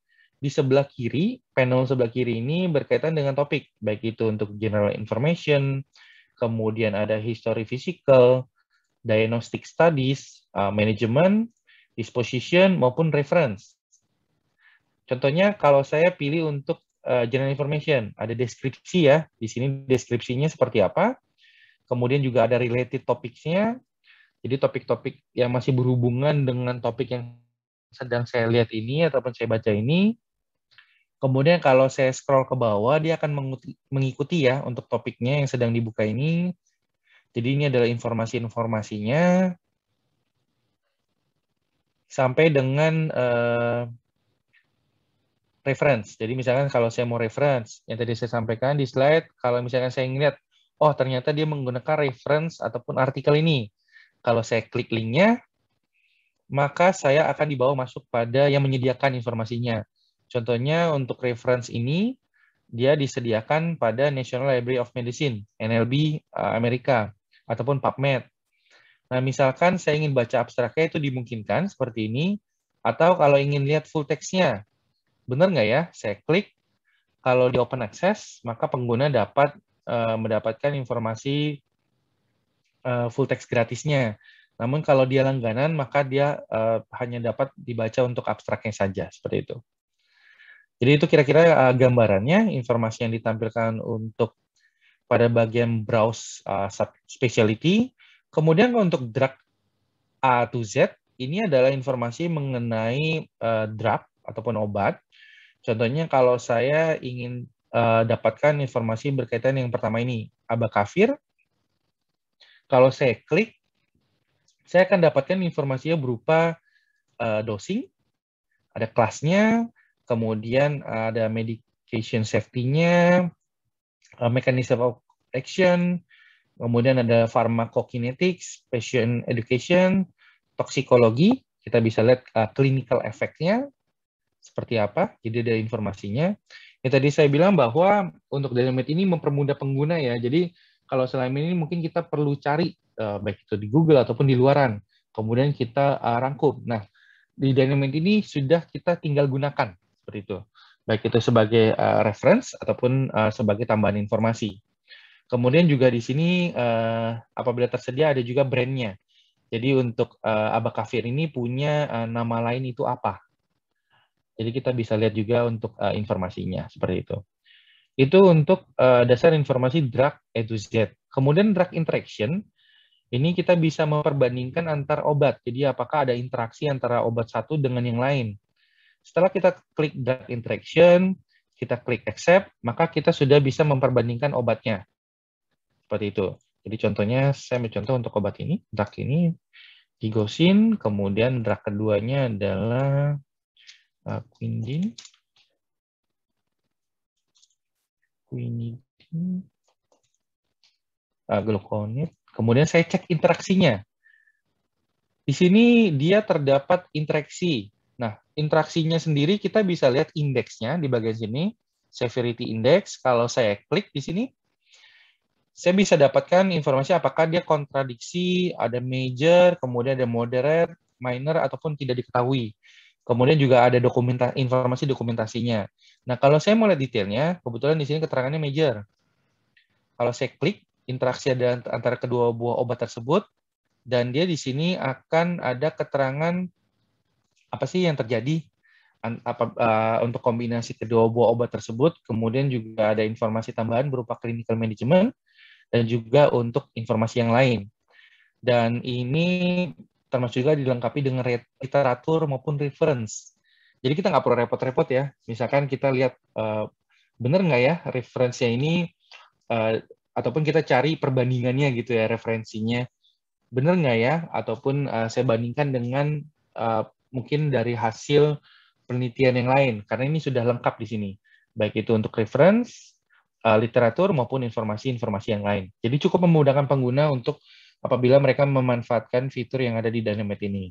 Kemudian kalau untuk kalkulator, kalkulator ini uh, ada banyak di dalamnya fitur-fiturnya. Misalkan kalau kita ingin ukur uh, indeks massa tubuh, itu juga dimungkinkan. Coba saya cari, uh, seperti ini. Body mass index ataupun kita bisa uh, gunakan untuk yang lain. Jadi saya ambil contoh untuk BMI. Jadi ada informasi seperti ini ya. Kemudian kita bisa input tinggi, berat badan, kemudian uh, satuan unitnya bisa dirubah. Kemudian kita dapatkan hasilnya dan nanti akan ada keterangannya. Seperti itu. Jadi ini adalah fitur untuk yang uh, kalkulator. Kemudian saya kembali untuk our expert ini adalah informasi berkaitan dengan uh, siapa saja sih untuk tim editorial. Jadi uh, editorial boardnya untuk masing-masing subjek ataupun topik yang kita bisa lihat. Kemudian kalau saya kembali ke dalam uh, home dari Dynamite, tampilan home-nya, misalkan saya mau cari tentang COVID-19, gitu ya, karena yang sedang uh, sedang hot nih topiknya. Nah, uh, ketika saya ketik informasi, maka akan diberikan semacam popular terms. Jadi kata apa yang uh, informasi apa yang berkaitan dengan kata yang saya masukkan di sana. Jadi contohnya COVID-19 yang pertama adalah COVID-19, uh, COVID-19 novel coronavirus dan juga informasi-informasi lain. Nah, selain itu juga kita di sini ada tambahan informasi misalkan berkaitan dengan COVID treatment, vaksin ataupun yang lain. Contohnya kalau saya pilih yang pertama,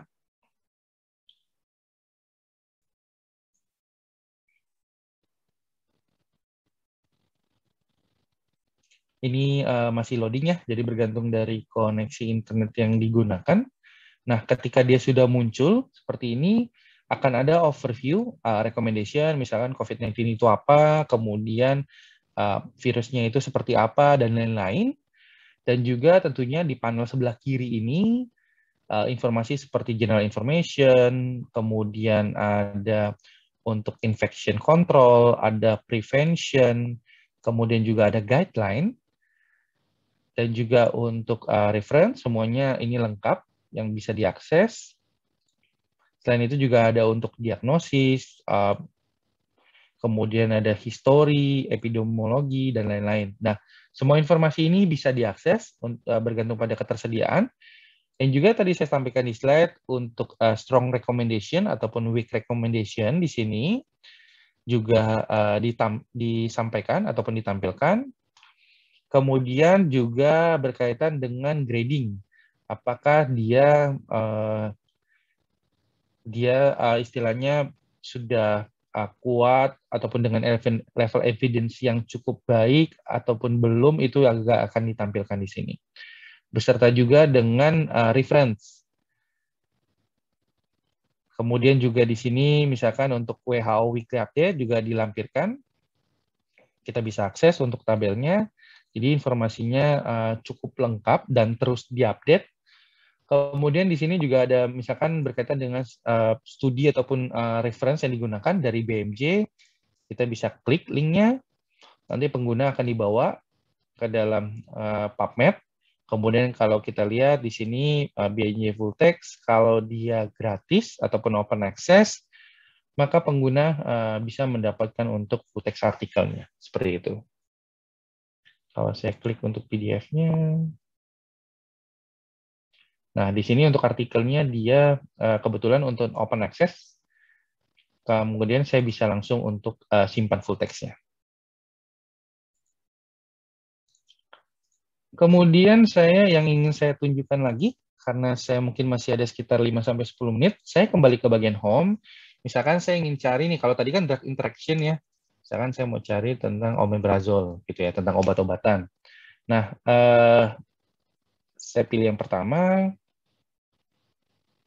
Saya bisa lihat untuk eh, kelasnya maupun eh, dosisnya dan juga informasi-informasinya. Jadi pada dasarnya selain kita bisa gunakan fitur browse, kita juga bisa uh, menggunakan fitur uh, search. Saya kembali untuk COVID tadi mungkin uh, saya ada yang terlewatkan. Jadi saya kembali ke dalam topik yang sebelumnya, berkenaan dengan topik. Selain fitur untuk berupa teks, ada juga informasi berupa uh, recommendation editor. Jadi editornya siapa, kemudian juga afiliasinya di institusi mana. Kemudian ada gambar. Misalkan kalau saya ingin gunakan gambar ini, saya bisa perbesar, kemudian saya bisa simpan gambarnya kalau saya ingin gunakan. Kemudian uh, selain gambar juga ada yang dinamakan update. Jadi update ini berkaitan dengan COVID terakhir update per tanggal 21 uh, Juli, kemudian informasi update-nya apa. Dan kita bisa lihat lebih detailnya dengan klik View in Topic. Nah, di bagian mana uh, informasi tersebut akan muncul. Kemudian di sini juga uh, selain untuk fitur search, di bagian bawah ada juga berdasarkan uh, specialty ataupun subjek. Dan recent alert ini kita bisa lihat terakhir update-nya berkaitan dengan uh, pertanggal 26 Juli ataupun kemarin karena dia mengikuti waktu dari uh, Amerika ya. Karena sekarang di sana masih belum jam 12 jadi dia masih uh, keterangan 26 Juli. Kalau misalnya kita ingin lihat yang terakhir update itu uh, seperti apa, kita tinggal klik ini.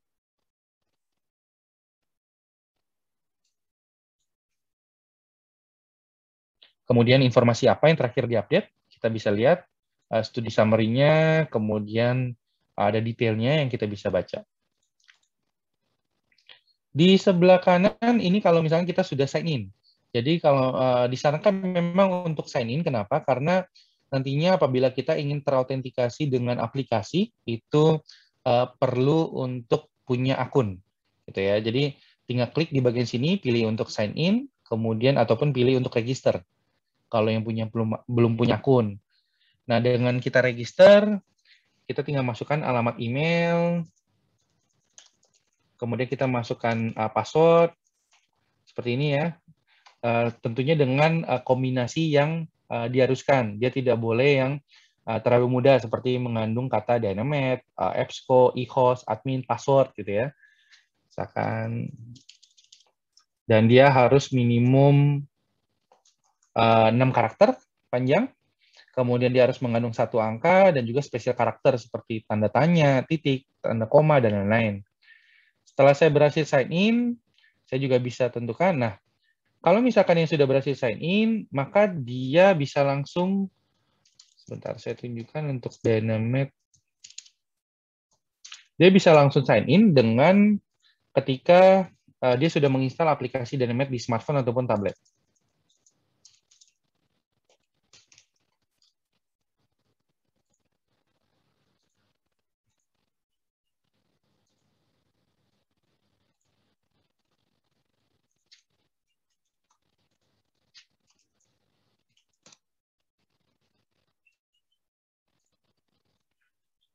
Jadi ini kira-kira ya uh, aplikasinya yang tersedia di App Store maupun untuk uh, Play Store. Jadi tampilannya akan menyesuaikan, misalkan untuk yang App Store, untuk iPad tampilannya kira-kira seperti ini. Kemudian kalau iPhone seperti ini.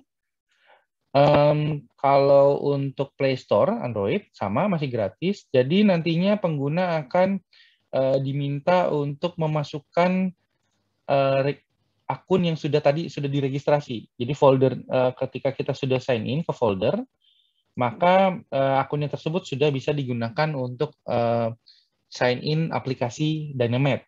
Dan setelah itu pengguna dapat uh, memilih apakah ingin di-download kontennya secara full keseluruhan. Tentunya dia akan memakan kapasitas dari uh, device ataupun perangkat yang digunakan, ataupun bisa download secara kes, uh, sebagian.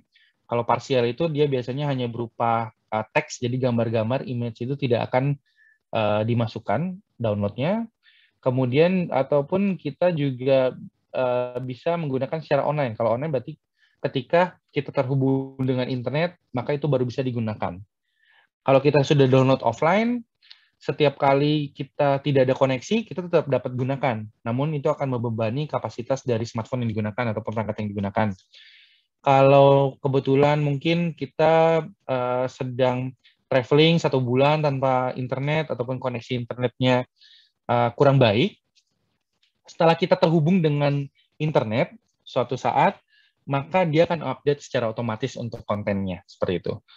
Jadi uh, itu cukup memudahkan uh, pengguna ketika memanfaatkan fitur aplikasi.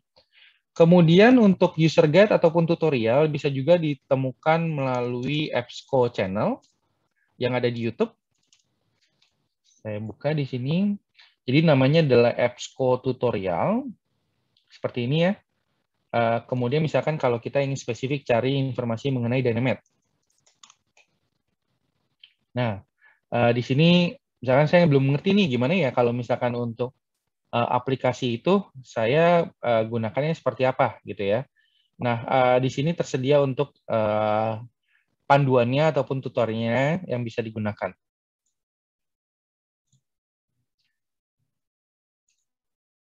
Jadi nanti setelah diinstal, akan ada dua cara ya untuk setelah diinstal. Yang pertama adalah sign in dengan akun pribadi yang sudah tadi registrasi, atau pengguna juga dapat datang ke institusi, kemudian juga uh, terhubung dengan jaringan internet dengan IP yang sudah terdaftar dari institusi, uh, kemudian pilih untuk authenticate. Kalau misalkan uh, personal account yang tadi sudah registrasi, dia tidak perlu datang ke kampus lagi. Dia bisa langsung otomatis sign in. Karena dengan kondisi sekarang mungkin akan lebih direkomendasikan untuk registrasi untuk personal account. Setelah itu uh, tinggal sign in dengan uh, aplikasi yang digunakan.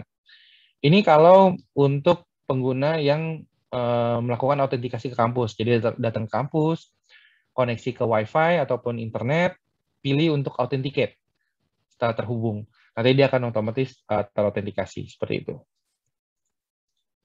Kemudian yang tadi saya sampaikan bahwa kontennya kita ingin download full install cukup besar ya 700 megaan ataupun parsial jadi hanya teks saja gambar-gambarnya itu tidak uh, muncul ketika kita akses online namun kalau kita terkoneksi internet dia akan muncul ataupun kita hanya online saja, jadi hanya terbatas pada aplikasi saja.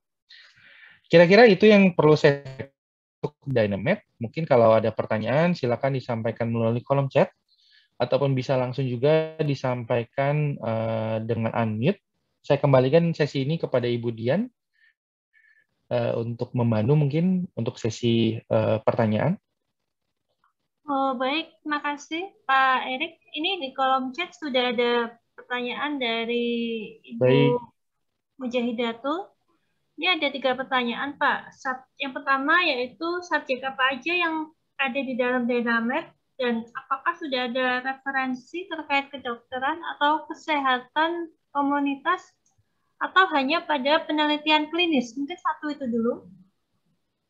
Oke, baik. Saya jawab uh, pertanyaan pertama ya. Ini saya kembali ke Dynamet. Kalau misalkan uh, subjek apa saja yang uh, pada uh, Dynamite. Mungkin ini tadi saya sudah sempat close ya. Jadi saya kembali login. Saya masuk lagi.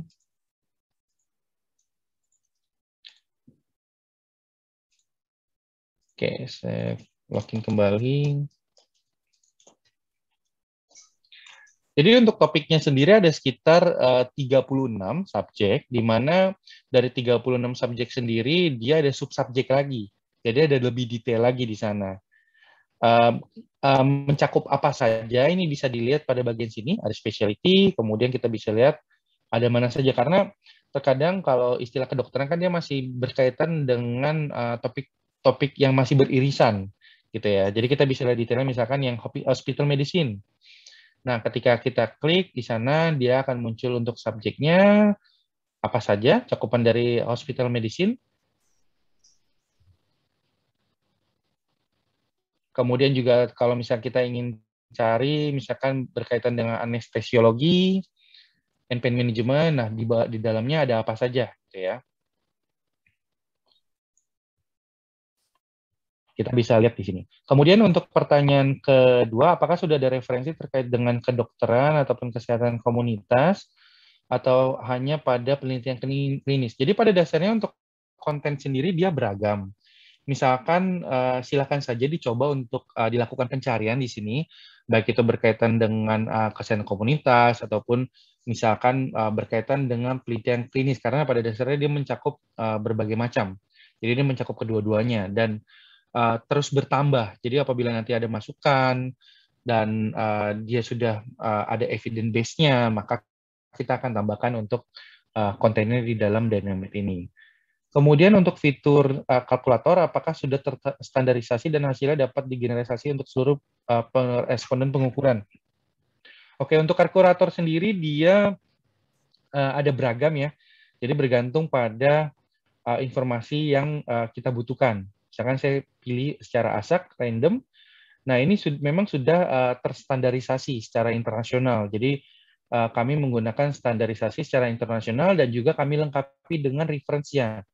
Jadi standar yang kami gunakan ini uh, referensinya itu dari, dari mana dan pengguna dapat klik untuk lihat detailnya. Benar nggak ya referensinya ini yang digunakan seperti itu. Kemudian uh, bagaimana kita dapat memperoleh sumber dari instrumen dalam uh, fitur kalkulator. Nah, ini bisa digunakan. Jadi sumbernya ini uh, bisa digunakan uh, sumbernya sendiri dia uh, perolehannya ini bisa datang dari mana saja gitu. Kira-kira seperti itu. Ada pertanyaan lain? Oh, baik. Bapak Ibu, oh, teman-teman, apakah masih ada pertanyaan tentang uh? Boleh di kolom chat ataupun langsung raise hand.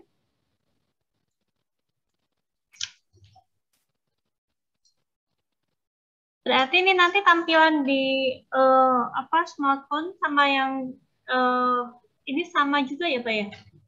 Iya, uh, kalau misal tentunya kalau untuk uh, pengalaman yang lebih baik adalah melalui uh, laptop ya, karena lebih besar ya. Kemudian uh, dengan fitur-fitur yang uh, lebih mudah untuk diakses. Nah, kalau misalkan untuk smartphone sendiri, dia menyesuaikan dari tampilan ataupun ukuran dari perangkat yang digunakan, seperti itu. Namun tentunya untuk informasi yang bisa diakses, dia tidak uh, istilahnya ada perbedaan ataupun pembatasan di sana.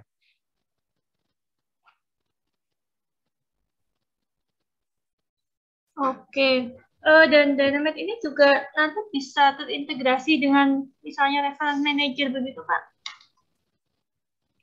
Um, Oke, okay. saya, saya ambil contoh misalkan salah satu topik ya.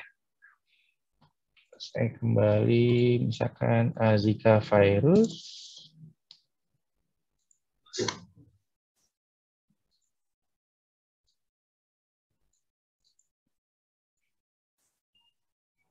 Jadi kalau misalkan kita ingin mengutip gitu ya, misalkan kalau kita ingin mencetak itu dimungkinkan. Ini mungkin juga uh, salah satu fitur yang saya terlewatkan.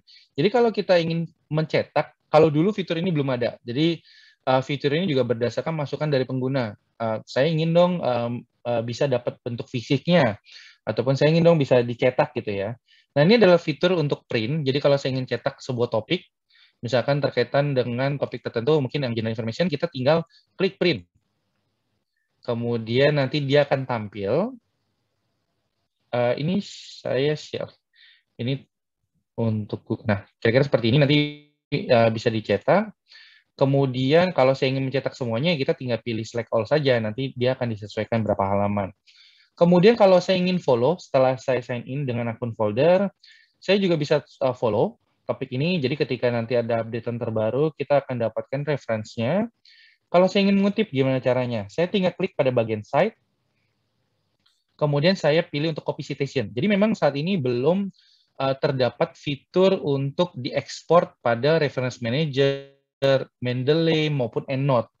Jadi kita masih secara manual, klik pada bagian site, kemudian kita pilih copy citation. Seperti itu. Kalau untuk database EBSCO yang lain, untuk jurnal itu memang sudah ada fitur ekspor. Jadi sudah dimungkinkan uh, kita menggunakan software tambahan dan otomatis dibuka seperti itu. Nah mungkin ini juga akan jadi uh, masukan buat kami ke depannya. Nanti mungkin kita bisa tambahkan untuk fitur ekspor di sini. Selain itu juga ada fitur untuk sharing. Jadi kalau kita klik share, misalnya kita ingin kirim email, itu juga dimungkinkan di bagian sini. Ada pertanyaan lain mungkin? Semoga apa yang saya sampaikan menjawab uh, pertanyaan yang Ibu sampaikan. Ya, baik. Bapak Ibu, teman-teman, masih ada yang mau bertanya lagi?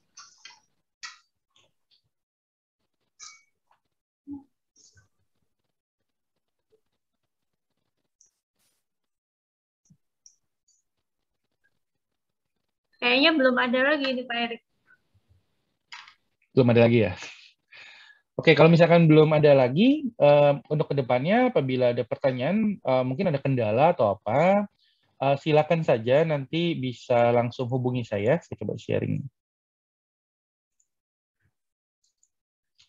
Jadi ini adalah kontak saya untuk email ataupun nomor handphone saya, termasuk juga ini nomor WhatsApp saya. Nanti disebutkan saja nama dan juga dari institusi mana, baik itu untuk kendala teknis, misalkan saya nggak berhasil login ataupun saya sudah uh, install aplikasi tapi tidak berhasil login gitu ya. ataupun mungkin ada saran, masukan mengenai fitur-fitur yang lain juga bisa disampaikan. Kita akan tampung nantinya dan kita akan uh, mudah-mudahan ke depannya nanti uh, bisa terrealisasi untuk uh, apa yang disampaikan. Baik. Oke, terima kasih sekali Pak Erik dan juga Sama-sama, Ibu Uh, Pak Duyanto. Uh, sebelum mengakhiri sesi ini, teman-teman mungkin bisa mengisi dulu presensi yang sudah disampaikan di kolom chat. Terima kasih semuanya atas kehadirannya. Semoga kita mendapatkan uh, manfaat dari workshop series yang kita ikuti pada pagi hari ini. Terima kasih. Uh, wassalamualaikum warahmatullahi wabarakatuh. Waalaikumsalam warahmatullahi wabarakatuh. Bu Utari. Iya, Pak. Uh, saya ada